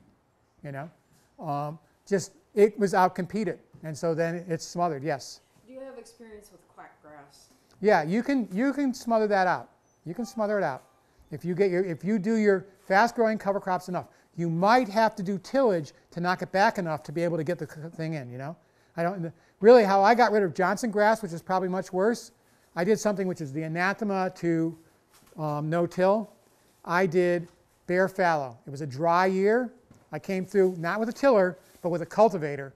And every time I saw green, I swept up tons of roots. I let them dry out.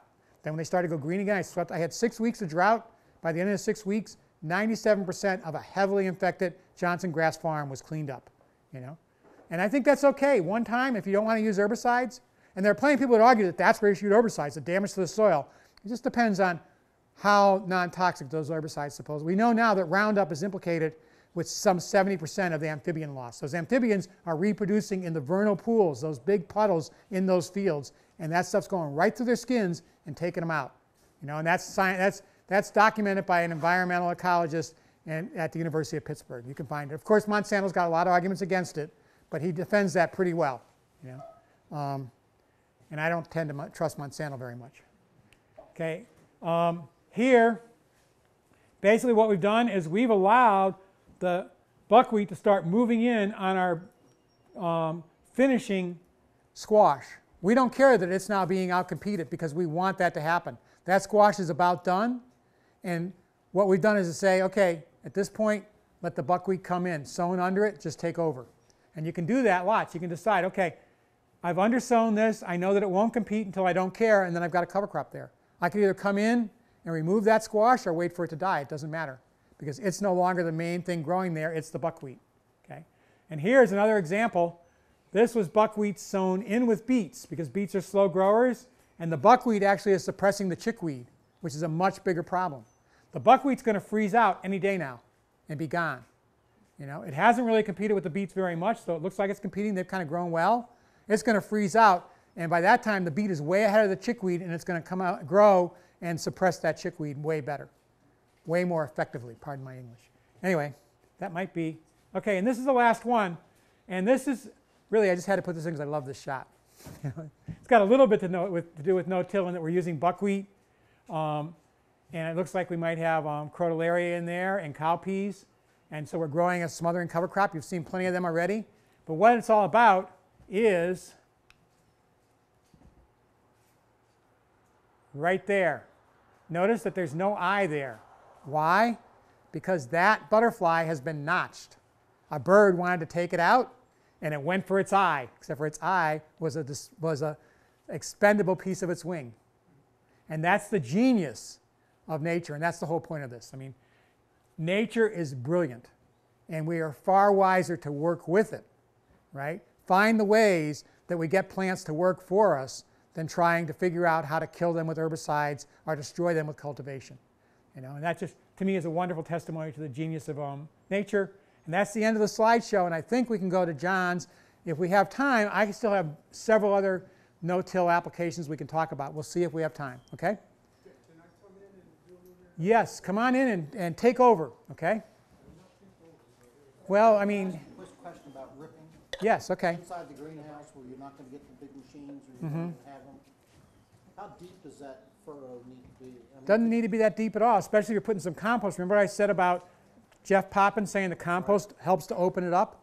Just deep enough for the drag stake of a tiller, that, where the tiller's not running? Yeah, it probably could be. Yeah, if you can get that to do it, yeah, you just need big enough to be able to put your plant in. That's all. Okay. Yeah.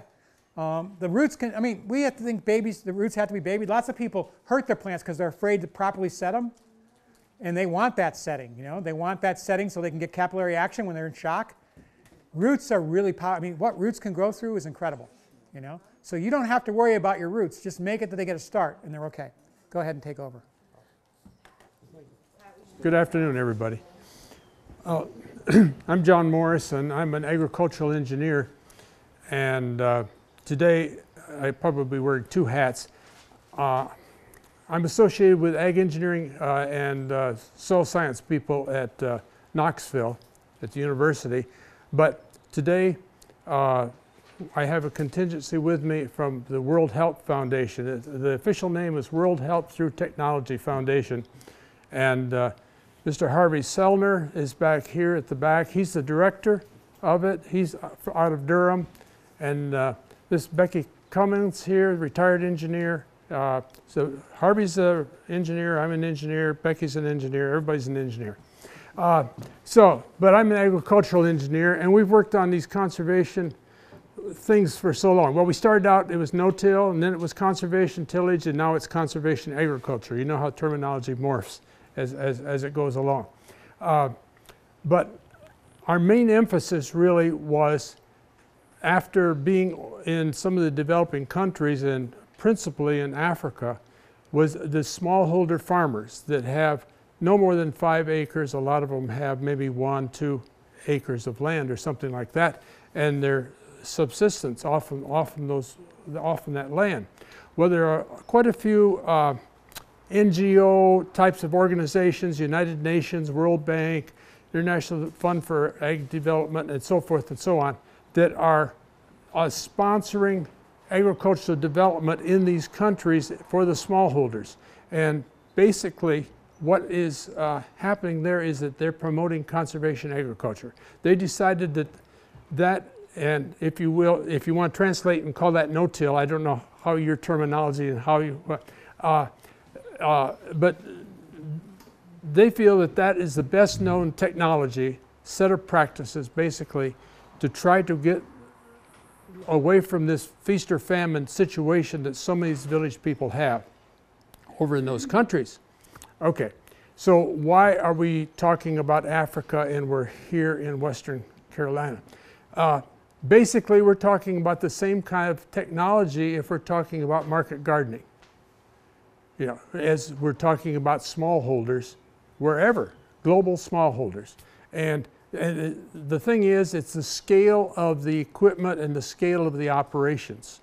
So it doesn't matter if we're in Pakistan or if we're here, if you're in a relatively small scale intensity type of conservation agriculture slash no-till, and you need tools, you, you're going to need roughly the same kinds of tools to do it. And our analogy that we like to use is if you're going to build a house, it's great to have a really good hammer. Well, if you're going to do this kind of agriculture, smallholder agriculture, it's great to have appropriate size implements that really work for you. And so, so that's kind of where we are. We're just trying to, as retired engineers, we're trying to make a contribution. And it just so happens that what we've been working on for overseas, it just is perfect for market gardening in the States. So, so that's, so that's, that's where we are.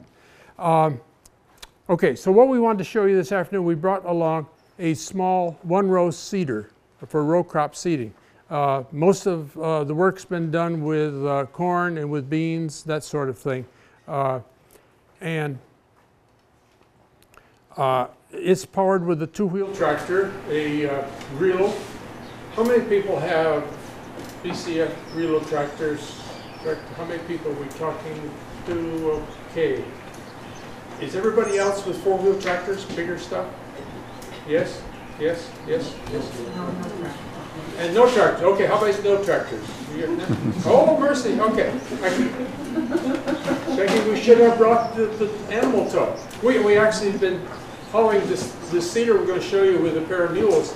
And, uh, and well, we got a single hitch for one mule and a, and a, and a team hitch for, for the work.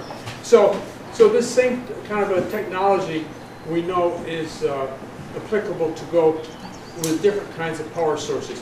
The reason that we're using the two-wheel tractors, we call them, uh, what do you call them? Walk-behind tractors, okay.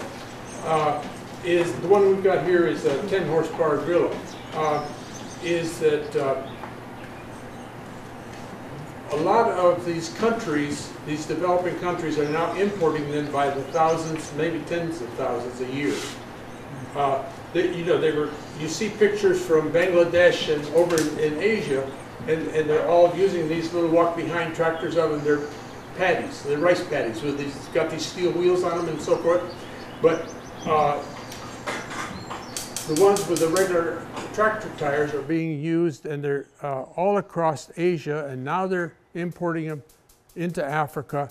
They're importing them into uh, Mexico. We have one machine down in Mexico under evaluation, and so this has become apparent to a lot of people that if you're going to move away from animal draft, this is the next step in mechanization. You know, this is the smallest scale mechanization that's available after you go from animal draft. So that, that's, you know, that's, that's just kind of where we are. And there's so much interest in it overseas and everywhere in, in this level of mechanization that that's, that that's what we've chosen to do. Okay, uh, I'm talking too much, but I was trying to give you an idea of, of, of what's happening. So before we go out there, because it'll be harder to, to talk out there. So we have this little seeder, and what, what happened to Pat? He went up to turn the oven on. Ah, okay. I don't know if we're, he said we're going to run in the greenhouse where he's run a flail through some cover crop.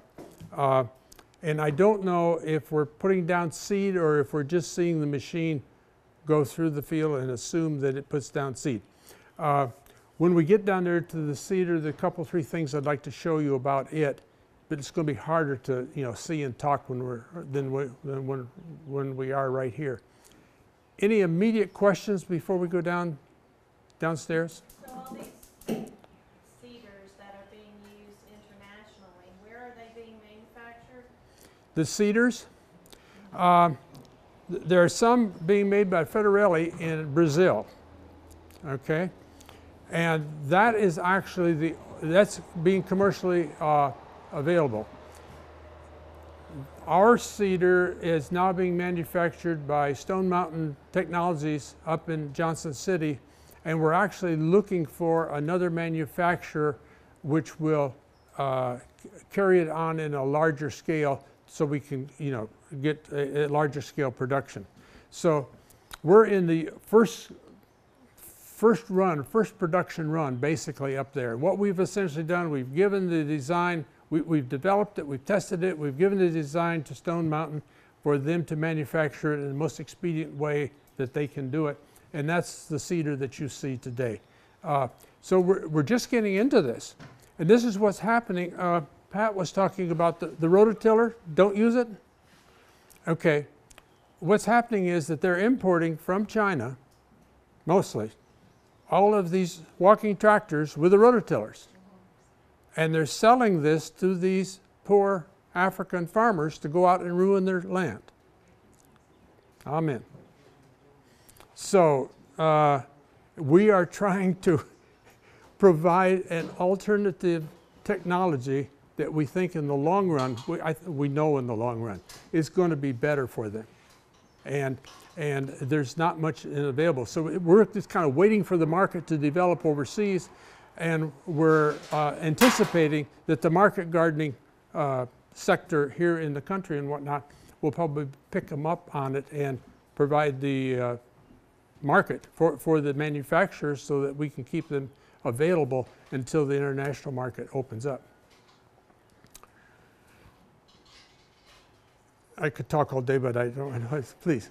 So how are um, both the um, tractors that are being imported all over the world and what you have here, how are they powered? Well, they're, uh, the ones from overseas, the ones from, they're made in India and China and so forth, one are almost all these diesel engines.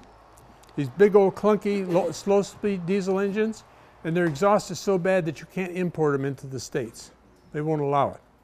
And so, for instance, we have the Grillo tractor out here. They're from Italy and whatnot, and of course they have the gasoline engine on them.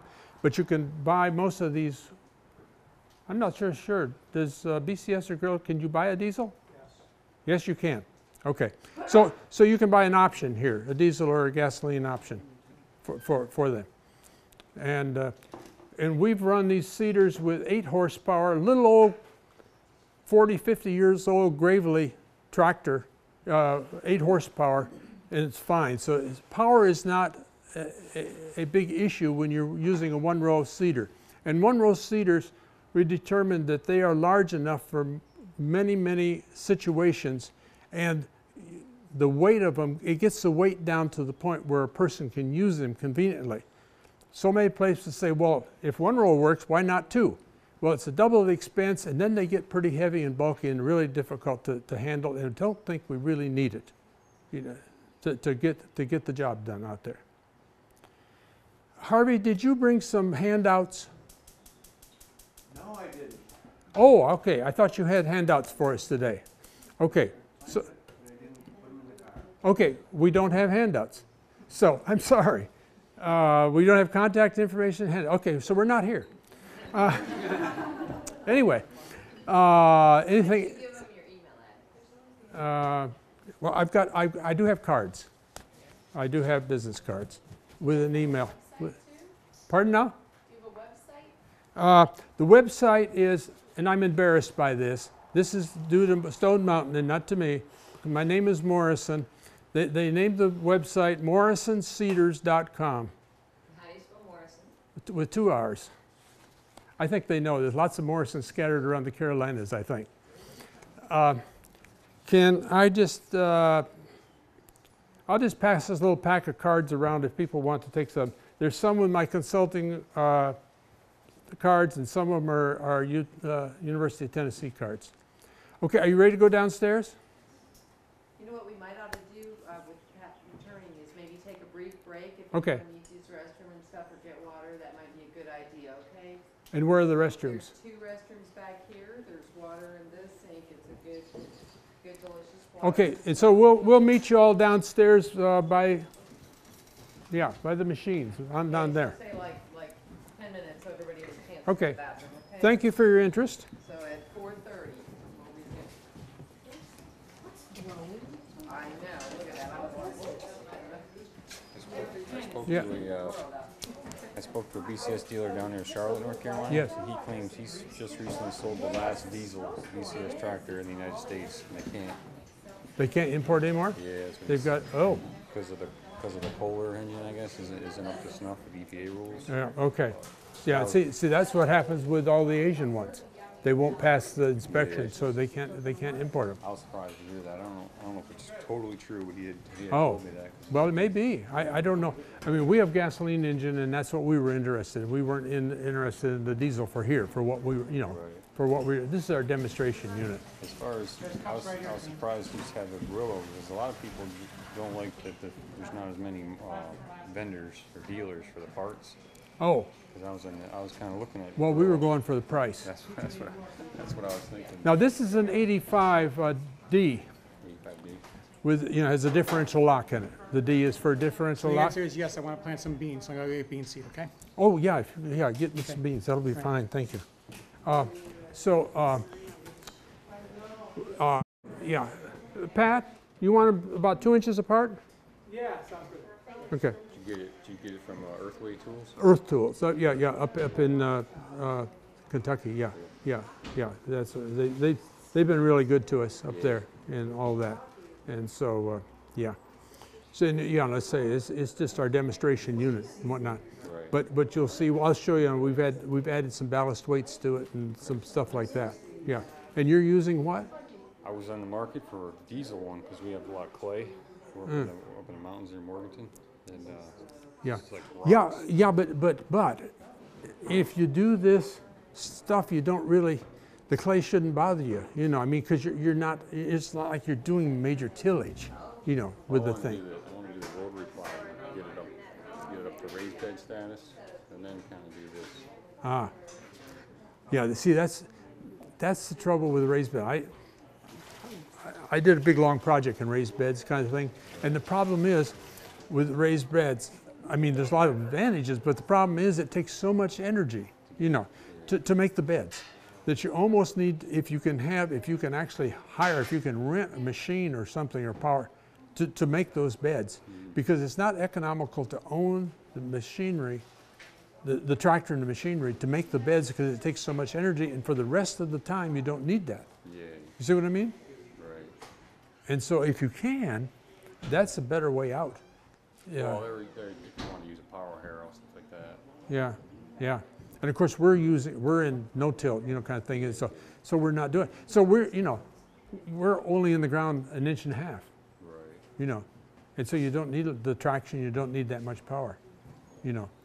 And and when you do that it changes the whole you know, your whole method of operation. Oh, yeah. You know. Yeah. You just let the roots do the bio plowing.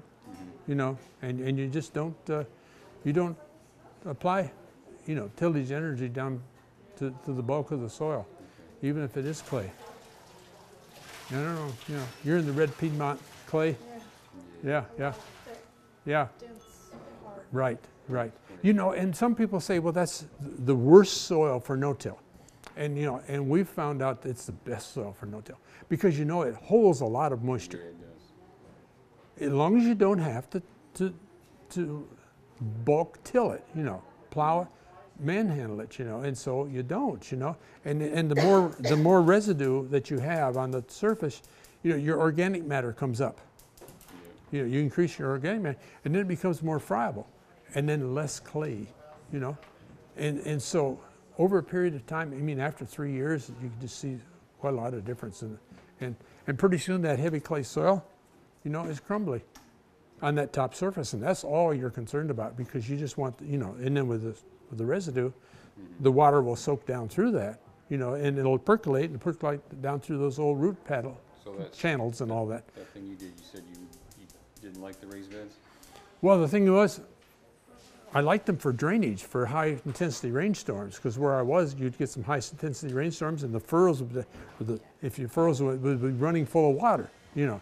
But uh, uh, building them was too much energy. It wasn't compatible with the rest of the stuff that we were doing. That was the trouble. We're talking about the raised beds, you know, and, and, the, and the problem is he's in the heavy clay soil, it takes so much energy to build the raised beds, In the rest of your system, you don't need that much energy. Right, well, and indeed, as I was saying out in the field, I can't get our grill up into the bed with the roller. If it's at all moist and stuff, the weight of the roller and stuff, it, I have to like just about get a hernia to push that thing up in there. Hmm. You know, Yeah. it's just that much. You know, it's just harder to work. On the other hand, we're in a bowl here, and it's just used to be a lake. Hmm. We have wet weather springs everywhere. We have to have raised beds. Oh, We're yeah, just way see. too wet. You know, so it just Yeah, depends. You know. yeah, yeah, and And you might decide that you want to get in early in the springtime. You need those beds to warm up. Sure. But there's plenty of places we don't. I wouldn't automatically do raised beds. You know, you Yeah. just every situation takes like you know some experimenting, paying attention, Yeah. do some raised beds, do some flat beds, see what works, see But- what the many problems are. You know, But does anybody here use strip tillage? the people, some people do strip tillage, yeah. Because see, for a person with for heavy clay soils, Mhm. the strip tillage is, is great. Because Mm-hmm.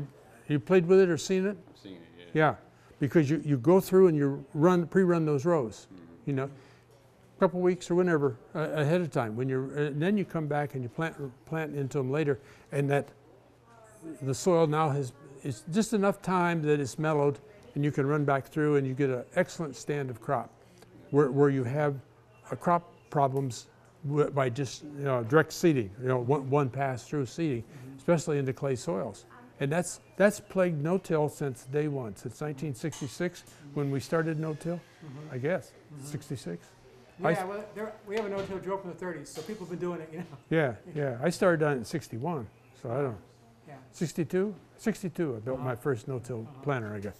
But anyway, been a while, isn't it? Yeah, yeah, it's been a while. It's So, been- uh, but anyway, So if you're not disturbing, so if you, you've got a grassy acreage and it, you know there's clay right this far under uh, the grass, you're saying, don't build a bed at all.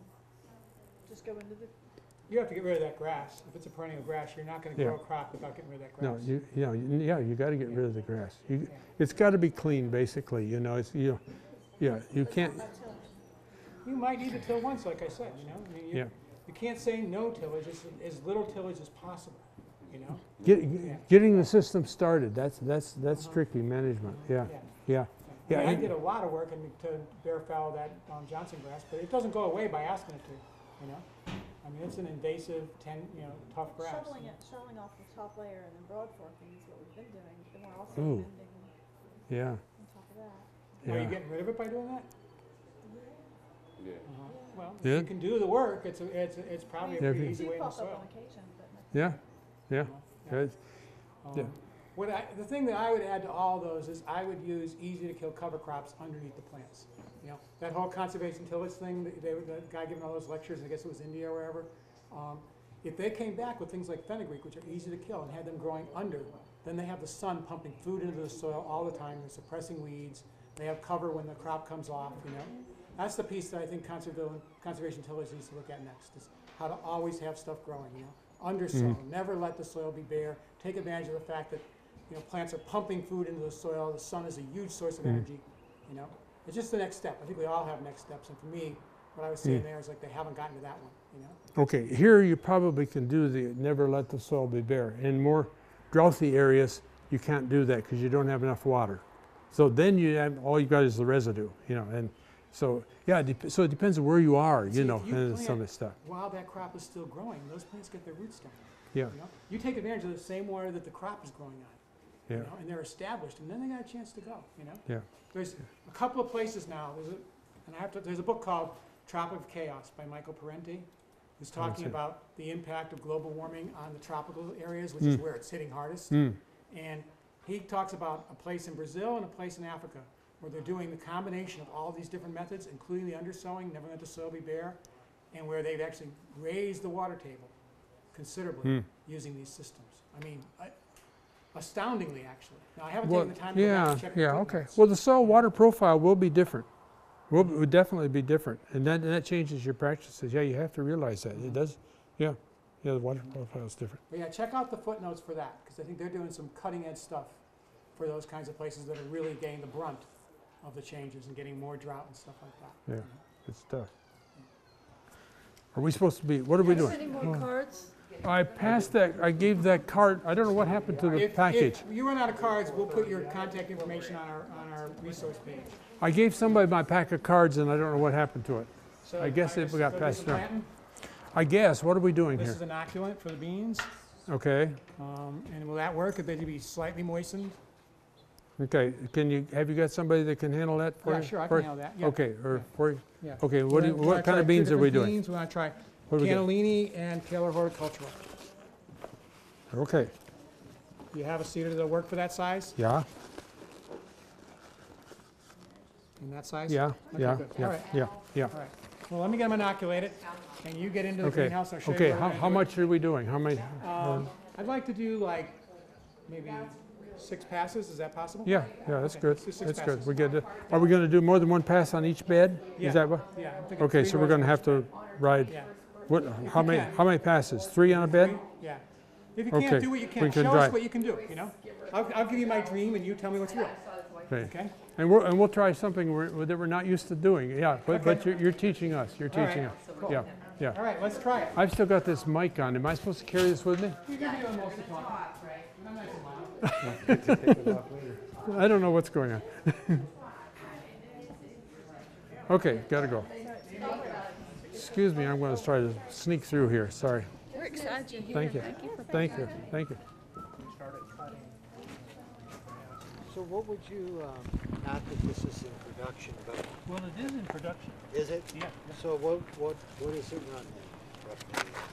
Um, I think the website has it priced at twelve sixty.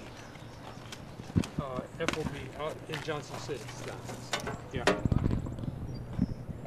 And the name of the company again was? It's, uh, well, Stone Mountain is the one that's making it, and they're building it essentially for World Health.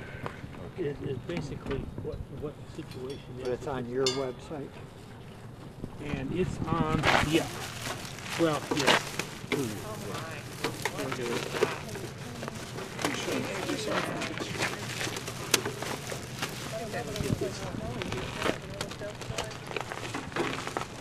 Bungee cords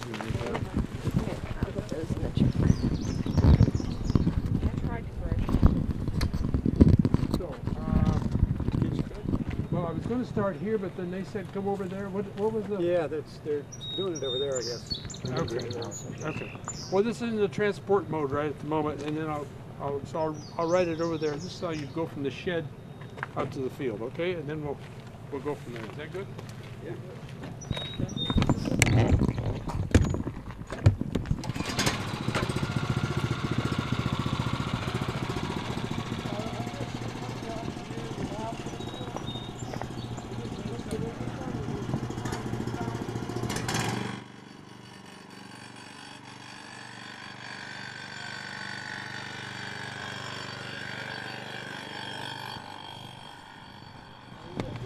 So folks, while he's getting here, you probably all know it, but I want to remind you, if you're growing legumes, buy the right inoculant and inoculate your legumes so that you get that nitrogen from the air, right? And plants, legumes have little houses, and over live in there, they bring the nitrogen to the plant.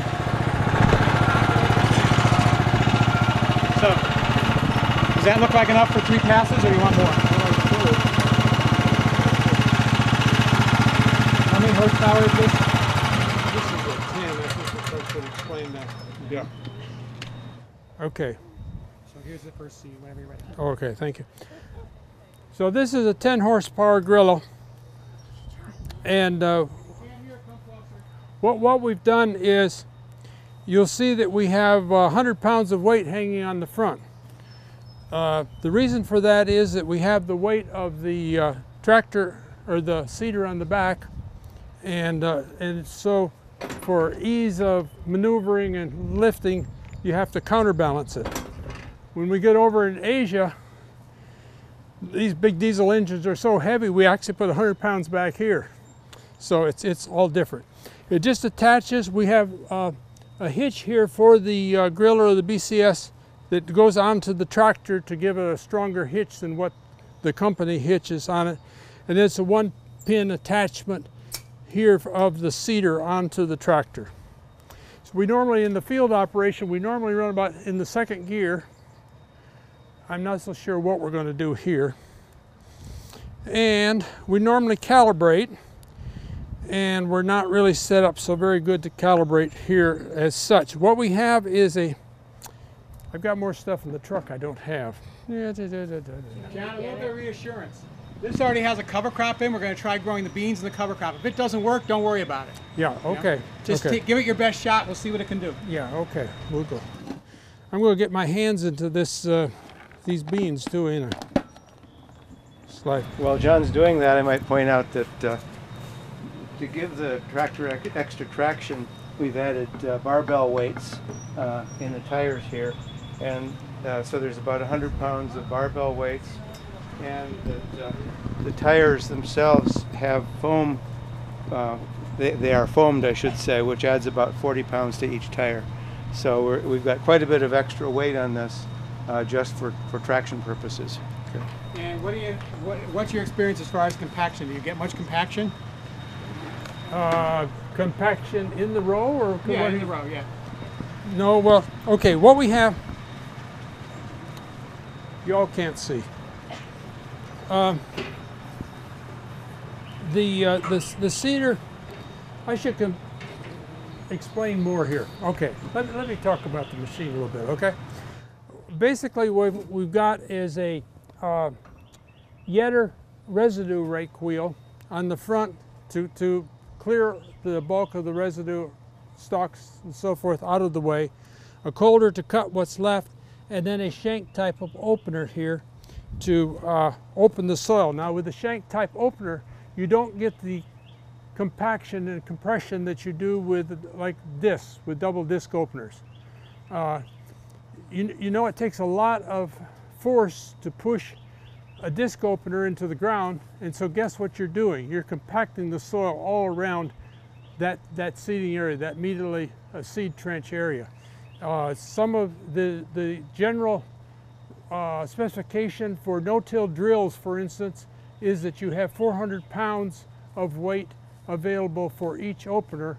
That's to press the, those disc openers into the soil. And that is, in the long run, that's probably counterproductive. So this has been selected as a way of uh, operating in more soils under more conditions than you'll get with a, a disc opener. Disc openers will go through and not block. But if you actually look at what they're doing, they will ride up over many obstacles and your seeding depth can be quite variable. You'll get a more uniform seeding depth with a, uh, with a shank opener. Now what we haven't done here, we haven't set the, the seeding depth so we don't know what depth it's going to be seeding at. We haven't set the calibration rate. We haven't tried it in the field. We don't know what depth that the front, uh, th have I given enough disclaimers? I, so, and with 30 people standing around here, nothing's going to work. It's a given. You, when you go to give a demonstration with more than one person around, things don't work, okay? I mean, that's just, that's just the standard procedure. So I have just eyeballed, what we have here is a a dual seed meter and it is a two-sided thing. One is a fluted feed, but one side is small for things like millet or small seed or like radish seed or whatever, that, that sort of a thing. And the other is for the larger beans, corn, and so forth uh, seed. And there's a, there's a metal slide here that you uh, uncover one of the, uh, one side or the other of the meter with. We do have, we have a fertilizer, starter fertilizer site also for the crops that can use it. We found out real quick you don't want to use that with beans, but with corn it works as long as you use a, uh, a non-toxic level and, and mixture of, of starter fertilizers. So, so the problem is too high salts for the beans? Yeah, apparently so. It just knocked the, the germination like crazy.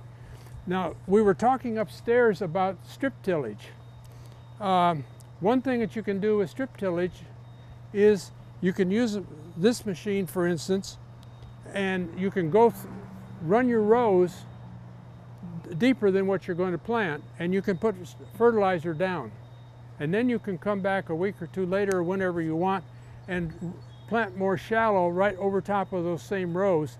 Your fertilizer is down deep, you're less burning effect, and you got some starter fertilizer down especially your P2O5, which helps uh, early uh, growth of the crop. So there are different options that you can use. So this, this machine, I know I sound like I'm selling it, but it, it can be used as a strip till machine, as a direct planter, a direct seeding planter, or you can actually come back and side dress fertilizer between rows with the thing. So, so John, I brought you here to sell it if you want. I mean, uh, go ahead and promote it. That's fine. You know, you know, you're I coming mean, this far. If you want to promote it, that's that's the point. You know, I, you know, it's just, it's a, I'm just trying to explain the product. You know, it's you know, this is what it is. You know, and they're available from Stone Mountain Engineering up in uh, Johnson City is building them right at the moment for us, and uh, World Help is doing the best we can to try to get them out into the whoever can use them. And what would it run a, a farmer to buy one? These are priced at twelve sixty right now. Very reasonable. Yeah. Yeah, and uh, yeah, for the global market, we need to get the price down lower, but we haven't been able to do that because, well, you know, it's it's heavy, durable, it'll last forever. Uh, the parts are very replaceable. Like, it's a Yetter uh, finger wheel up there. This is a Great Plains uh, disc. This is uh, Case International uh, uh, tip off from their uh, air drills and so forth. So the, the, the, re the replacement parts that you would get from the wear and the soil are all you know locally available. And basically everything else is tough, rugged, and it shouldn't, uh, stainless steel box, you know, it should last forever.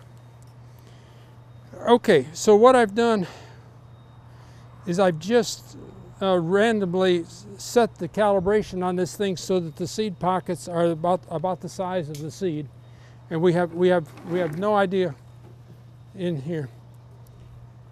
We have no idea what we're going to do or how we're going to do. Okay?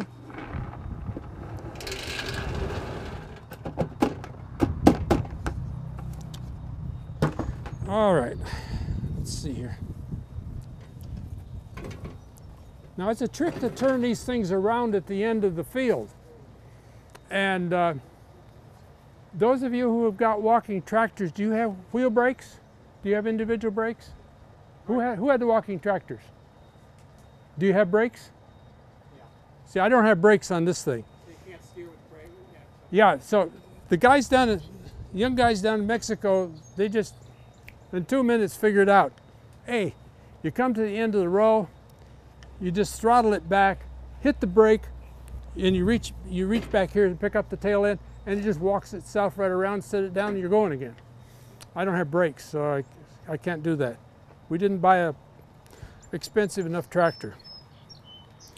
Okay, so let's just try just getting started a little bit and because I don't know what depth. We may not, we may not even be in the ground because the the the, uh, uh, the shank may have to be lowered. The good news, because we have irrigation and we're in a greenhouse, if you get it in the ground at all, it'll work.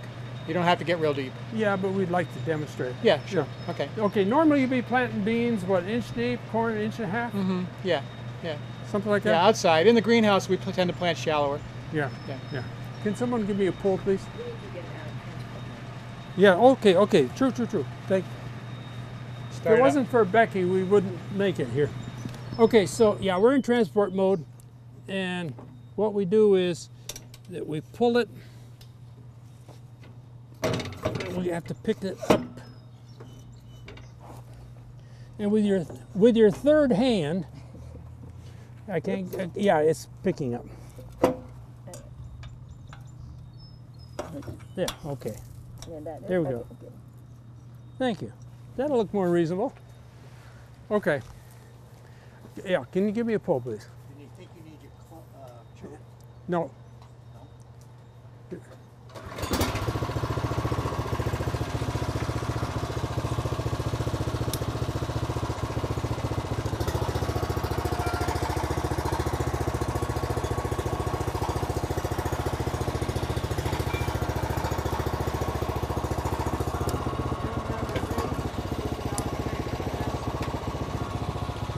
We need it down.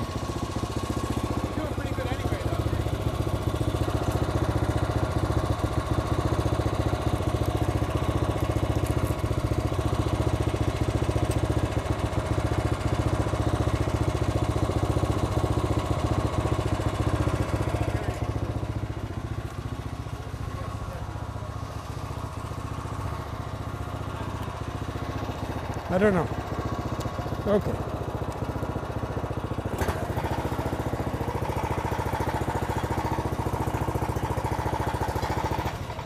Oh, my dead man switch. Yeah, this man. I shouldn't do this, right? Don't don't do this. Exactly, don't do this. Don't put a rubber band over your dead man switch. As an industrial engineer, I say don't do that. okay, please.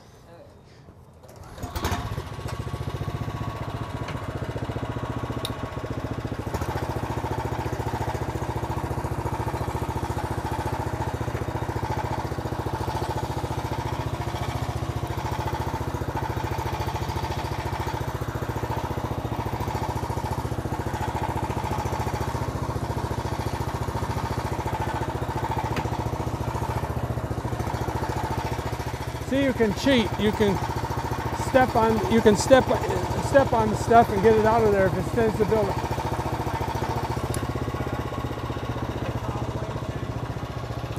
Right now, it's supposed to be pushing it. Yeah, it's not. It's not doing much. Yeah. So eventually, it's starting to pile up too much, but it did pretty good for quite a while, right? Yeah, yeah, but it's it's accumulating a little bit. But I'm making too much of a mess. Uh-huh. Well, it wouldn't be hard to come back and push that in. So normally that just falls back in? Yeah, you would normally not. This is really mellow. Uh-huh. You you wouldn't normally be having that much disturbance. No, we've been we've been building the heck out of this soil for a long time. Uh, yeah. Should we try to see where where the seed is? Yeah, see where the seed is. I don't know. Are we?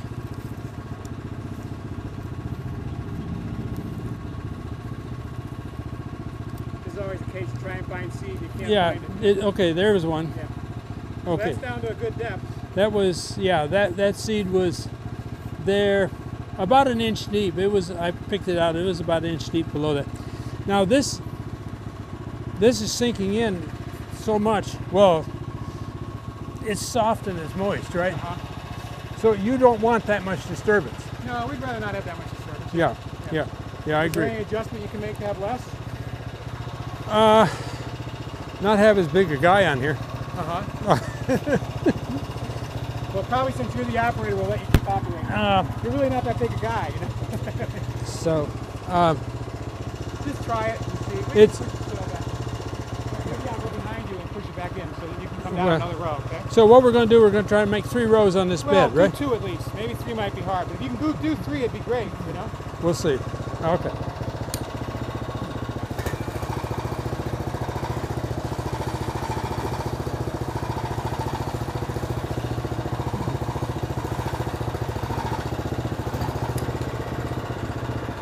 Got a tube up here.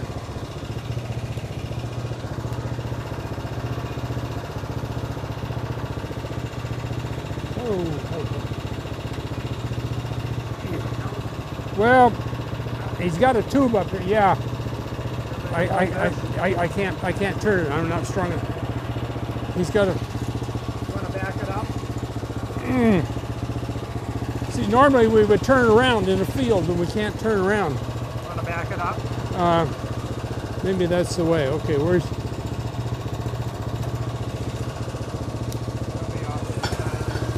Yeah.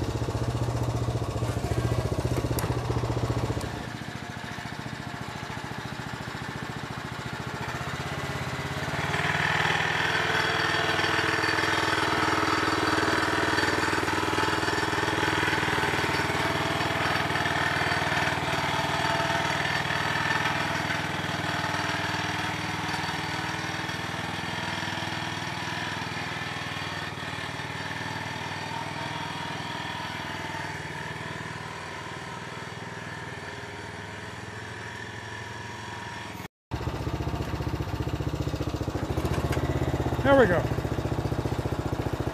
Okay, now the, the problem with this is that I'm driving on the, the, the two planted rows.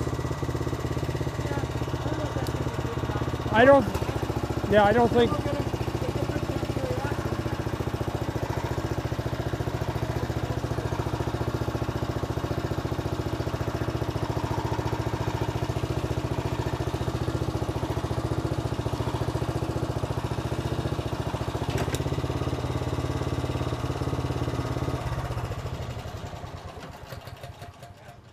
well, If you don't think it's viable, we can quit it there. That's fine. Well, no, I just thought maybe people might want to talk.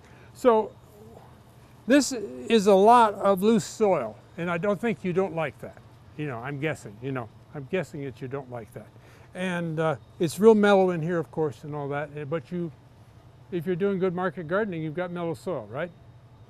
Uh, if you're, it's just kind of like, this is what you get with this kind of mechanization. Uh, you know, if you're looking at a cornfield and you're out planting on 30 inch rows, that looks like acceptable kind of, of, of, of looseness of the soil. Right. Uh, but for market gardening, I don't know if you like it or if you don't. You know, that's that's that's a question. You know. Yeah, I don't know. I mean, it's, we'll just we'll see how well it produces and see how the soil responds. We are seeing that not every bean got in. We know Well, I don't know. Some of the beans were like falling off to the side and were in the residue. And I don't know. Oh, and I don't know why. Um, Probably they're hitting residue and being bounced off. Could that be Now, it? is this cover crop, is it pulling up so it's uprooting the soil? Because I don't know. I mean, That could be it. It feel might be doing that. It if- might If be- it was dead. That's probably what's happening. It's if it dead, dead, but it, wouldn't pull Yeah, up the soil because it. I I've never why- seen it do this. What are they Yeah. getting? Quite a few on that. Where That are might they where it coming is. off? I don't know where the why the beans are where uh, I don't know where they're going. Um, I think it's because this is the the cover crop is just pulling. It's being pulled up by the roots. This was also like not completely connected in there. Now it is. I think maybe this is just falling out. Oh, yeah. So it was falling sideways. That might have been it. See how it's not all the way in? It may be. Yeah. I don't know where the beans. I wasn't watching it, so I wasn't. But I mean, the thing is, yeah, it's not connected on this side. John. they're all probably going to grow anyways. They're close enough in. See, like there's one all the way out there. Yeah, I noticed, but we should, yeah we wouldn't normally have to. Yeah. That probably has to do with the thing, the thing being loose. I don't know if the roots yeah, would it's grow not that far. connected on this side. Yeah. The wire's not going through the hook. So Oh, isn't it? Nope. Oh, okay. That would be why. Where was? Where, Over where- here. where- where? Right here. It's Oh. So he told you things had to go wrong, right? He promised you that, right? Yeah. And then we could bend You can count on it. Yeah, if it was dead, then it wouldn't uproot so much. So pull up the soil sometimes. Yeah, it's it's newly chopped. I mean, once I heard you guys needed it to be like that, we No. no. chop this out. Yeah. Well, those are we um, talked about that earlier, but it wasn't. uh, those are adapters that you get. Let's see. Oh, you haven't. s- You. Oh, there was a. Heat, it would be dead too, but it's been totally. We can take those off. He had a question. He had a question here, so you, we can you can see what what the deal is. So I bought uh, I bought these hubs, these from uh, Earth Earth Tools up in Kentucky, and then these things are a dollar a pound, right? And uh, so that's that's how we added more weight to the wheels. And you got the you got the this isn't a double hub there too, uh, it's what now? It's Like a double hub. well, it's just this just goes on, bolts onto the to the standard hub to give you so that you can get more weight. It's just available. Yeah. Probably because there's no brakes. The rim is bigger. Yeah, that's Uh, yeah, that's maybe your rim is uh, long, maybe deeper than mine. ah maybe. And there we go. So So I'm thinking maybe we'll finish this row, and rather than try and do another row, we'll just go on to other stuff. that that's great with us. We really appreciate the time and everybody's interest. And uh, Yeah, it's only because of time. Otherwise, I'd love no, to do no, all no, the rows. no, no. That's that's Yeah. fine. That's fine. No, we've taken almost an hour. That's fine, and that you came far enough that I'm glad you did. You know, So uh, I think this is a really reasonable price for a tool that could be very useful for large scale. Obviously, it's not for a backyard garden. You know, it- it's not enough for the greenhouse. I don't, you know, it's kind of hard to turn around and all of that. Right? Yeah, yeah. But if a person is planting uh, ten rows of corn every ten days or something like that, that's the sort of thing. Then I would anticipate that this could be a very useful type of a, of a, of a machine. yeah, we actually want to put a whole bunch of different forage crops in a four-acre field, and that could be very useful. Yeah. You know?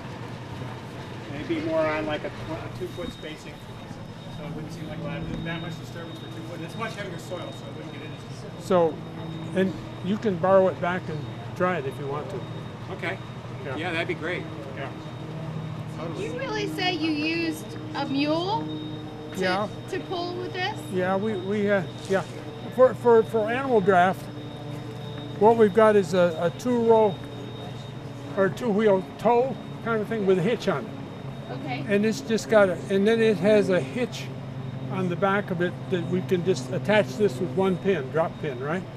And then we put a, we put a handlebar up here for the driver, right, to give him a little more balance. Okay, and then he's just standing here and, and, and driving, yeah. And one mule is enough? Are We- you making enough now to, We're, to, to do those. We, we've just we've just prototyped them and, and, them a little bit, you know, but uh, it's very simple to have the machine shop make them. Okay. You know, we have the designs and whatnot. We have them in the shop. We have them both for the single animal and for the team. And really, a single animal can pull something like this very easily. But But then you get a situation like with single animal, that if you got a single hitch, then the animal's going to be walking right in line with what you're going to be doing. And if that's not a problem, that's not a problem. But if you'd rather not, then you need, then you use a team will get you out, so they're walking in the, in the middles.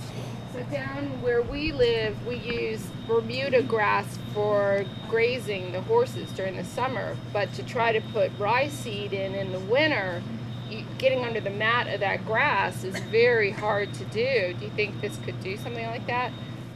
For coastal, we, we've we've run in coastal a little bit, and it just it'll just tear out.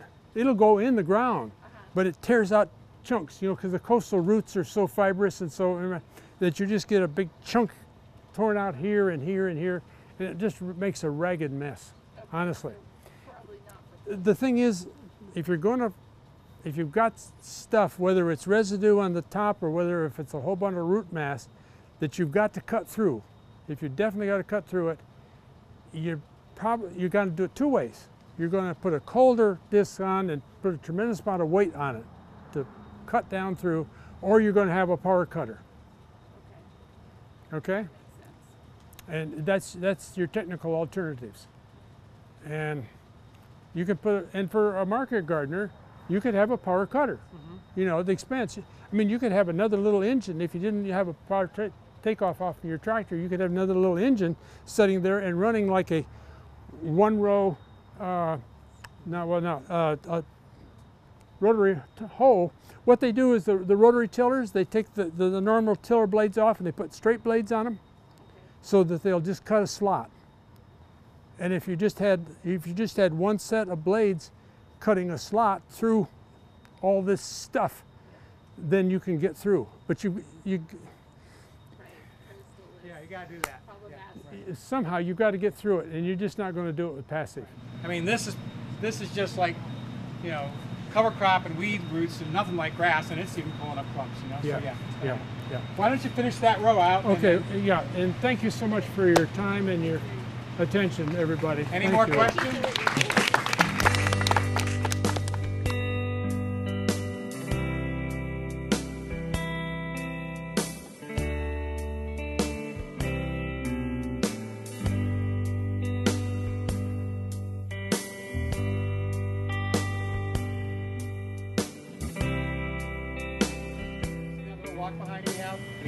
Didn't see what you have. We have a hand push no-till drill.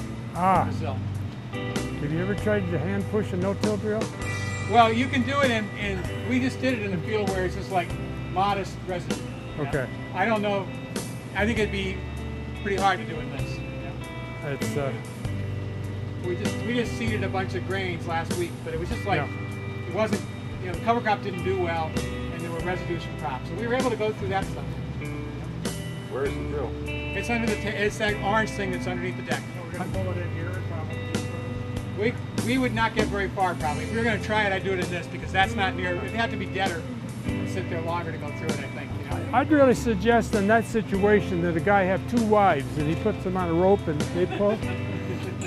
oh! One woman driving about five husbands, that'd work too.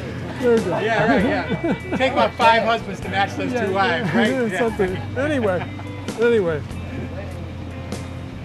So be it. Okay, thank you all.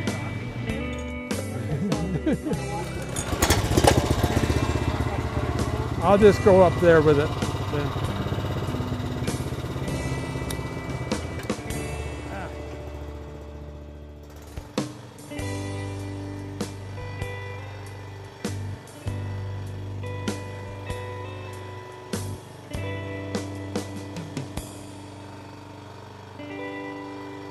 Okay, let's go. Like happy with that. Kind of curious what what type of soil would he be? He's used to heavier soil. Like heavier that's designed to go through, you know, farm soil. That's greenhouse soil. That's been babied. Right, you know. Right. I mean, if you have a greenhouse, you make the best soil in the world because it's really expensive soil. Right. You know, you want to get maximum production. You know.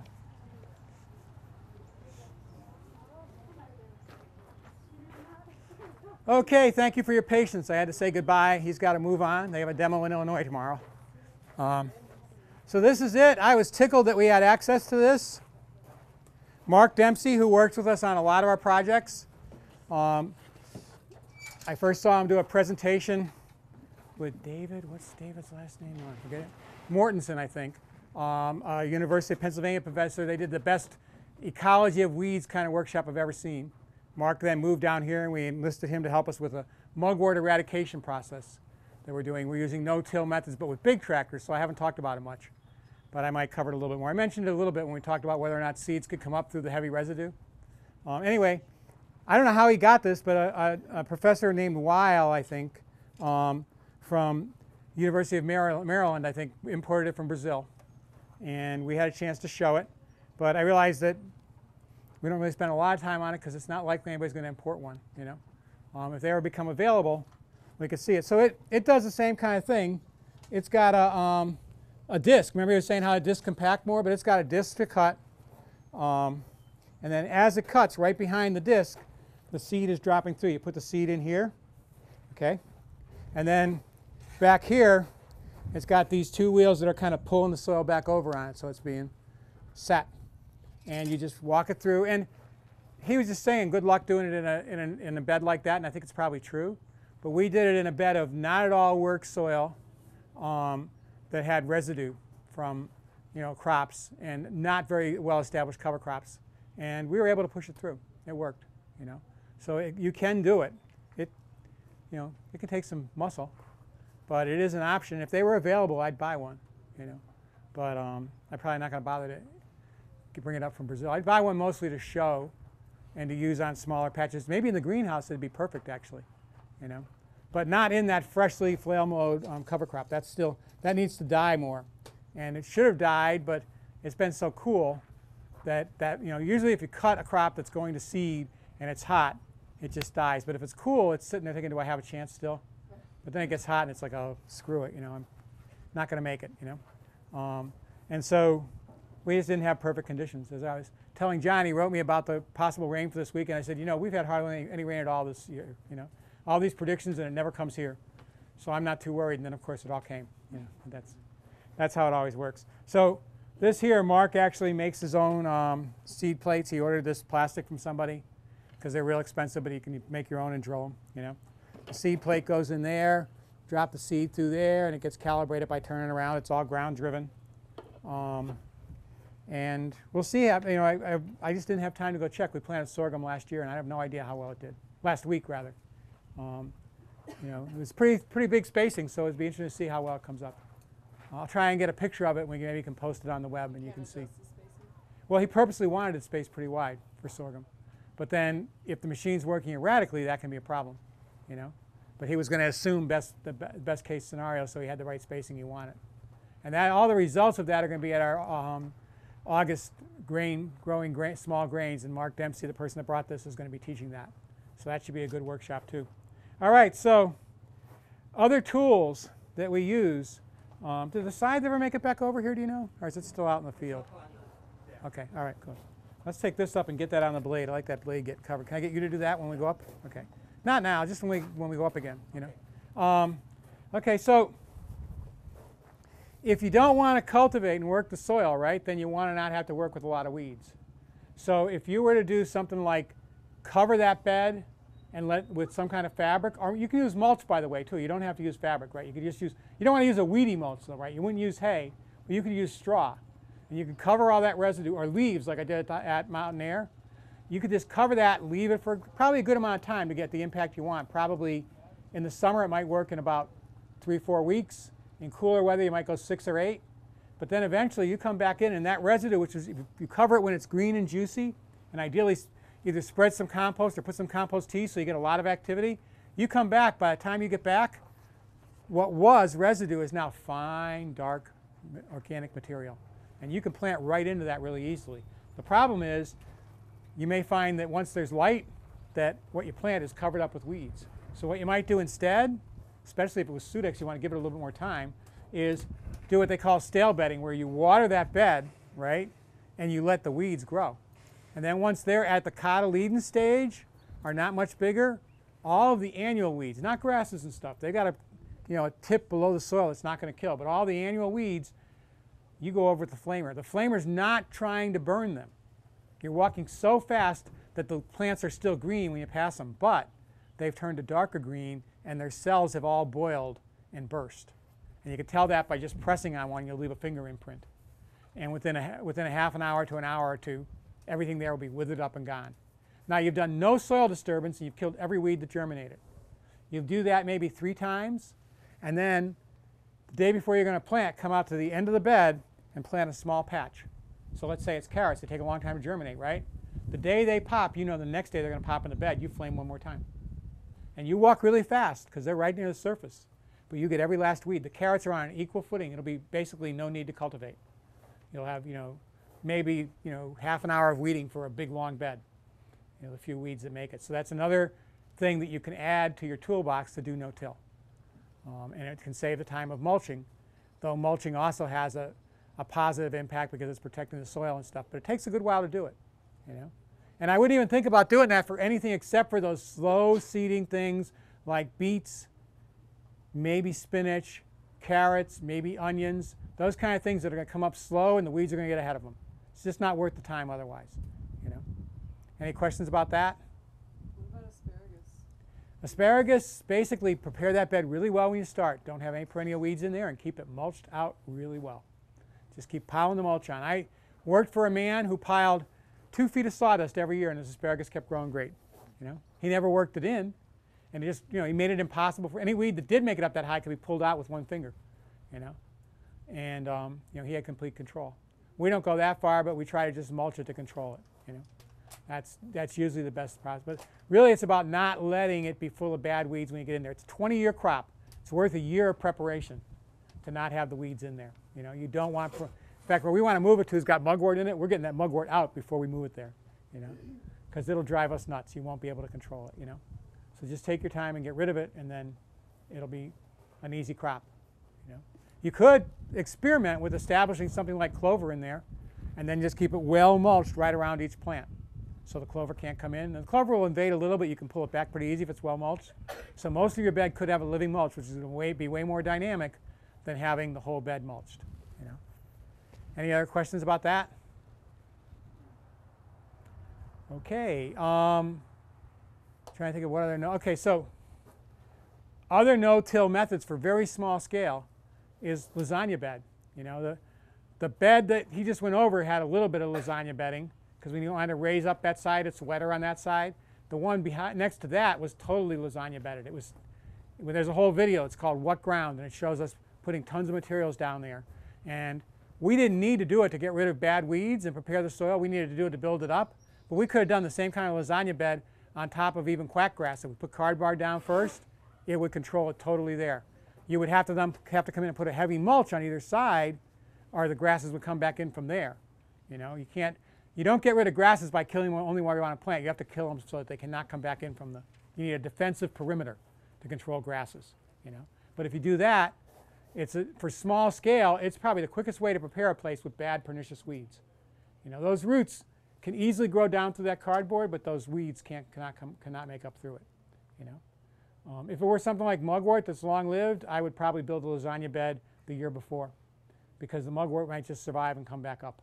You know? Nutsedge is another one. It tends to just sit there and wait for light. But the thing is, if you lasagna bed, it's never going to get enough light to come up probably. It probably won't get that, you know, it's just not, it's too deep in. Um, but I'm not sure about that, but I suspect that's the case. Um, but lasagna, people, everybody know what lasagna bedding is? Do I have to explain it to anybody? Yeah. Basically, it's layering lots of readily rottable material. And you start with the coarsest stuff on the bottom. Oftentimes, if you're trying to control weeds, you know, pernicious weeds, you want to put cardboard down first, you know. And as you work your way up, you get juicier and juicier. And then to be able to plant immediately, my trick is to kind of like take this very, you know, weird stuff. It could be any number of things, coffee grounds, juice pulp waste, you know, weeds, all that different stuff, right? Maybe a little bit of compost on top. What I like to do is maybe shovel whatever good soil there is on the path so that isn't full of bad weeds, throw that on top so I have at least a little bit of soil. But then to plant, I'll make a hole in that material, which is very loose, as if it were a pot, like a four inch pot. And I'll fill that with spent potting soil or some other soil that's good for growing. I stick my plant in that, it grows like it's in a pot. By the time it's big enough to get out of that pot, there's enough rot that it can grow and it just keeps following the rot down. It might grow through one layer that doesn't want to rot, and it goes down and it finds what it needs, you know.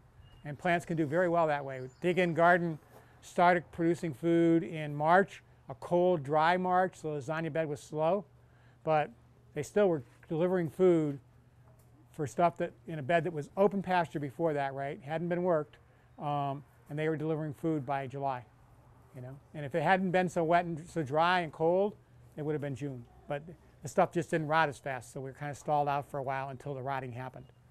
Um, it works best in the summer when there's more, you know, more more warmth and water, which is what makes things rot, you know. Okay, yeah. We just had a lasagna bed that was not completely decomposed, but Mhm. we needed to plant it. Mhm. And we have an electric edger that I use to cut through the cardboard Mhm. and move it to the sides. You didn't need to. The plants would have grown right through that cardboard. But it's really thick cardboard. Like I a think it's- Of, it a lot of cardboard. It's wet. I would try it next time. Put some now. Find find a place where there, where it still is and plant. And I bet you those roots make it through. They just they're strong. If they have if they have the power of the sun, they can go through. It's that tip with no sun, below the cardboard that can't find its way up. You know. But that root is designed to make it down past rocks, around rocks. You know. Um, I haven't seen any cardboard stop a root going down. It was for direct seed okra. Yeah, I just do an experiment. Do me a favor. Plant a little bit over the cardboard and let me know what happens. But I was doing that perimeter by Mhm. breaking it aside to Mhm. perimeter with the material. hmm Yeah. I mean, it, you can cut it if you need to, but I don't think you do. See, it gets wet, and then it's just like, you know, it's pretty soft. And the root just grows down through like funguses do, you know. You know, they're stalled out for a little while. It takes a little time, but I think they just keep going, you know.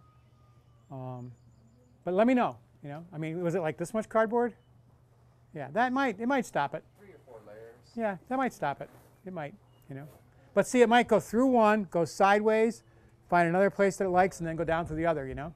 I mean, that's what roots do. They go. I mean, I've had I have a farm. I had a farm in Silo that when people came to tour it, they said, "This was a road once, right? Because there's that many rocks in it, you know." And you would think the plants couldn't grow in there. They boomed. They just went around the rocks, you know. Yeah, it's very slow food, but it would it would stop it too. But they don't. They just go around it. I've had voles riddle an onion bed so that it was mostly tunnels. The roots go around the sides and keep going. The onions were gorgeous, you know. Even though I could stick my hand in anywhere and hit a hole, you know. But there still had to be tunnels. There still were the sidewalls. They went around the sidewall and kept going, you know.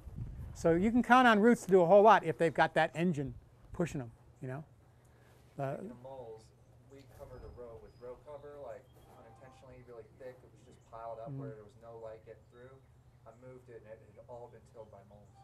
Mm -hmm. Yeah, they'll till it up. They, they, if there's if there's insects to eat in there, worms and stuff, they'll tear it up. It's nice and warm. I mean, yeah, totally, they'll tear it up. Yeah. Um, and they are tillers too. You know, every pest we don't like is actually doing good stuff. I mean, you know, they're all doing good work. Um, it's just that they don't do the work that we want, and they get in the way of what we're trying to do. It doesn't mean that their agenda doesn't fit in the world. Of course, it does. You know. Um, any other questions on that? All right, let's see.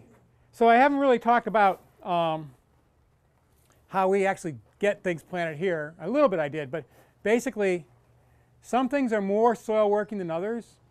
When the guys plant the corn, they like to actually like just like chop up, you know, the soil right in that strip. They just like to do it that way. Um, if it had been dry, I would have run this in there to see how that compared, you know. But they don't mind that work. I hate that work. I think it's really hard. So that's why I put that mulch down to see if it was, could be easier to put it in. And I'm going to actually try coming through, not sure what, probably flail mowing, knocking that um, vetch down more like we were doing today with my tool, and then coming through with the flail mower and chopping the heck out of it. Waiting a couple of weeks for it till it's kind of like fluffy and easy to get through. I'm going to try pushing through that row with this, just to see if there's another way, or we might get to borrow that tool again. I'd like to try that out there. You know, I don't, you know, it's different. Everybody's got the ways they like and don't like, and um, I don't like the tediousness of that. You know, uh, my coworkers just think it's a ritual. They're fine with it. You know, they come through and they chop it up and plant. What about So- your cover crop seeds? Are you just broadcasting that? Okay, so um, if you want to go back in that greenhouse later on and look on the left side, there's a spectacular example of chop and drop totally working wonderfully. Eventually it'll look like that out here where I showed you, but it's growing slower because of the weather. In there it's all popped, and it was a weedy bed um, with scraggly cover crop and um, I think some poorly established collards. It was just not a good looking bed at all. And you would think that you couldn't get enough stuff from it to cover that seed up and get it to, to do well. Just scattered the seed over, came through and flail mowed it, and boom, it's all got gorgeous cover crop all over it. And that's what we do exclusively, you know.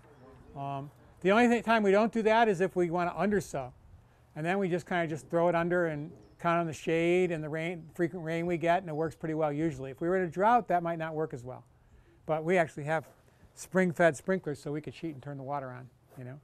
And um, we don't, we do not drill cover, cover crop seed at all here. Now, we have 30 acres in north, on the North River, uh, North Mills River, and there we're using a no-till drill. You know, that's a lot of acreage. We want to get it in well. And still, half of a field didn't take last year. We don't really know why.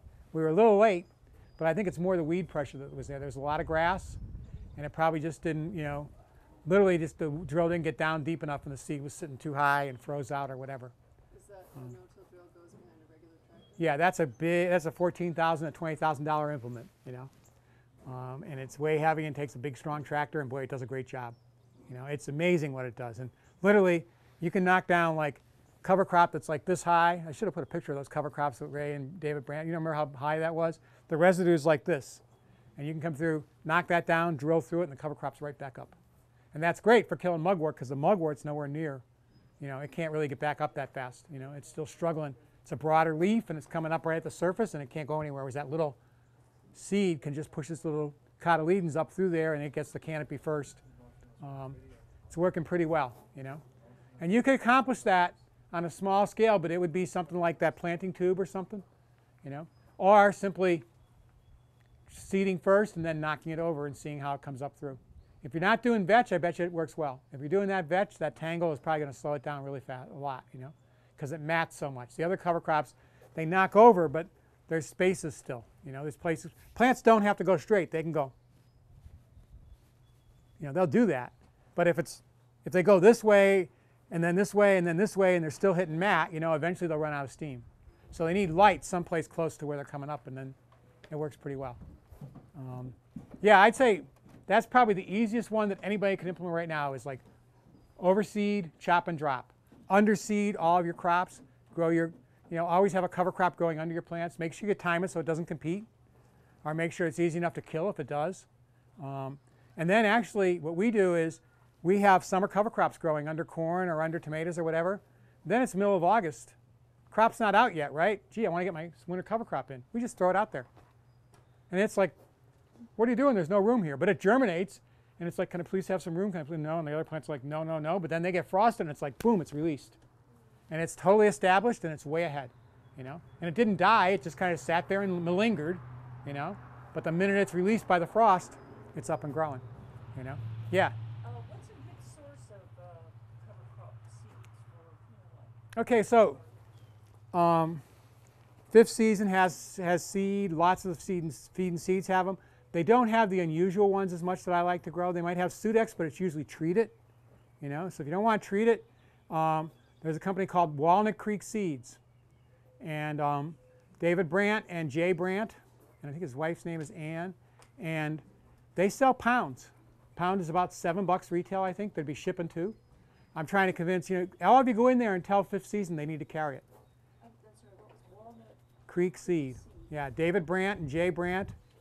They're in Ohio. I forget the town, but if you put Walnut Creek Seed, David and Jay Brandt, you'll find them. You know, and if they have a website, I'm pretty sure you can probably order direct. What I love is they have multi-species cover crops, a great mix. There's brassicas in some of them. You know, you could also, you know, small scale, you could just pull those brassicas out and eat them. Let them get big enough that they're food, and then go through and harvest them, and then they're not a problem. By the time the harlequin bugs are showing up, you go, sorry, I'm eating that. You guys can go try and feed on something else, which they don't do very well, you know. Um, and so I'd recommend them because they will give you the unusual cover crops that you can't easily buy at all. Sun hemp, good luck buying that in a feed and seed, you know. Um, and they'll give you the inoculant, both the mycorrhizal and the rhizobial inoculant. You know, they give it to you in a package so you can put it in when you want. That's gold. Those inoculants are expensive, and for the unusual legumes, they're hard as all heck to find. And if you're going to buy them, you've got to buy this big bag, which you're not going to use. And you're not going to convince anybody to carry them because they don't sell enough of them. They got a, a, a go stale date, you know. But he breaks it down. So I think it's a huge service. I highly recommend them. You know, I think you know if I was doing that size, I'd be buying from them. Instead, we get a pallet. You know, And I can say, oh, throw this one type on, throw this one type on, and we get, you know, because we're buying a pallet, we can, you know, do real well that way. Um, so. Yeah, I don't think they have that kind of um, diversity of cover crop seeds. I haven't seen them anyways, you know. not a lot of diversity but they've got Uh huh. Yeah, yeah, they have those. Yeah, but I'm encouraging you to go for much more. You know. Have you ever Yeah. uh, seen Ernest? Mm-mm, tell us about them. Um, Speak loud. They well, they just do all kinds of mixes for all different types of the coun- all areas of the country. Uh huh. And you can get your uh, irrigation mixes and riverbank mixes and uh, runoff mixes. What's the from name of the them. company? Pardon me, Ernest, like Ernest, E A R N. Importance of being earnest. Yeah. Yeah. But uh, I mean, I bought some creek seeds to plant them out. hmm Do they have things like undersowing seeds for cover, for crops and Yeah, stuff like I that? mean, they've got just about everything you could ever. So they sound like they're worth looking at too. They, are they untreated? Uh, I think you'd have to, Yeah. you know. Okay, so my lesson there is even if they can get you untreated, you need to send it to them in writing and let them know that if they send you treated, you'll be sending it back at their cost or not paying for it and throwing it away. You know, they've got to put it totally on them. And if they won't deal with that, then you don't buy from them. Because even when they're well-meaning, like Kaufman Seed, very well-meaning, but a new employee, three bags of treated seed. Now, they were great. I shipped it back at their cost. I got a total refund. I still had to go up to the place to ship it. And I, of course, had opened each one of those bags because I didn't believe they would be treated. And nowadays, instead of a separate label, one side has what the seed is and the back side says treated. So I had to open up each one and see pink or purple and then go, you know, and call them up. And they were totally apologetic. Said, yeah, he's just a new employee, you know, and just didn't. But I realize now I should have just said backwards and forwards to him, and I'm sending you a text.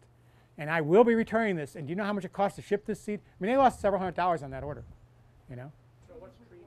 So what's treated? Treat it with fungicides, not allowed in organic, and really stupid if you, if you think about it. You want mycorrhizae to get in, and connected as soon as passed, and you're killing fungi, you know? Not a good idea, and carcinogenic, by the way. I mean, some of those seed treatments anyways are carcinogenic. And they're, they're labeled seeded, uh, They, yeah, usually they have a, they have a warning that it's treated. If they're dyed pink or purple, they're, you look real close because almost invariably that means it's treated with fungicides or insecticides, you know? I mean, they, they put neonicotinoids on seed, you know? I mean, nasty stuff, you know? So you want to buy, if, if they have a lot of treated seed, I don't know if it's worth the struggle. I just have an honest talk. Are we going to be able to work together, you know? Are you really going to be able to pay attention and make sure we never get treated seed? They probably don't want to bother. If they have a lot of treated seed, they're selling to that market, you're just going to be a pain, you know? It's better to find a company that gets and respects that and will work with it. And Kaufman Seed is fine that way. They're good. Um, I think Central Seed, I really like them for, um, for the best like description of different ways to use them foraging with animals. And that's a piece we haven't talked about much. But you can do it on a small scale. Does anybody have animals or plan on having animals? Okay, so if you're willing to mob graze them really densely, you can try no-till drilling them. But what we're about to try, and I bet you it works, is to come in right before we mob graze them. Now, it won't work with chickens because they'll eat every one of the seeds, right? But for like goats, sheep, you know, you come in and you mob graze them dense enough that they're going to trample that too, right? And you let them eat it way down. You're not trying to have it regrow, right? And what you do is you overseed before they get in there. And then they trample it in, it drops in. There's all that poop, the residue there, I bet you it pops up and grows great, you know? Um, we're about to try that on a bunch of crops that we want to grow to feed chickens. And we don't have that no-till drill. And Rocco's like, we got to get some kind of drill, Pat. And I said, let's try this. This is even better because we can show people you can do it with no equipment. You just use your animals, you know? And that really is, as far as I'm concerned, that's the future. All that, all those feedlots in the Midwest. I mean, right now, I had a guy who lives out there come through and he was talking to me. He said, you know, there's piles of corn that are like huge. They're just sitting out in the weather, not, that's not selling. They, they can't ship it anywhere else. So we can grow it for us, but the rest of the world's too smart to eat that crap, you know? So they don't have a market for it. And so their, their model is, in, is getting fragile. It's getting, there's, there's problems there. They're going to raise the amount of ethanol to put in our cars, though. I mean, they got to, you know, I mean, uh, but meanwhile, if we can get them to get that the cows come back out of the feedlots, intensively graze them, right? And a bunch of people are doing this now. Gabe Brown is one, very successful, right? intentionally graze them, and then you could actually reach a point where you graze them, the pasture down so heavily that it's actually damaged a little bit. Then you come in and you no-till drill corn, um, soybeans, other forage crops, right? They'll grow up. The, the no-tilling will work. The pasture's damaged enough that they can take over, but that pasture's going to recover in the shade. Then when you harvest, you have your pasture back. You never work the soil. That's what needs to happen. All that land was not supposed to be worked, right? The Gulf is dying. It's blowing away. We are mining, you know, millennia's worth of incredible soil building with the prairie system and the fires and the char and all that. And we're going to run out. If, we may well make our waterways so toxic before then that it won't matter, you know? So that's, that's a, a future piece that we can do on our scale. All right. So those cover crops at North Mills River are on diverse cover crops North Mills River Farm video. Yeah, the video's there. You can see it totally. And there's several other cover crop videos. If you use the search bar, you can say cover crops, it'll pull up all. Mark Schonbeck gives you more detail on cover crops than you could ever imagine. Ron Morse, another level of small scale no-till. We showed some of his stuff, a whole workshop, talking about similar stuff. You know, it's right. It's not at it's not at the scale that we're talking about here. It's the next level up, but the uh, information is applicable. Okay, and there'll be time afterwards if you want to hang for more questions. Thank you very much.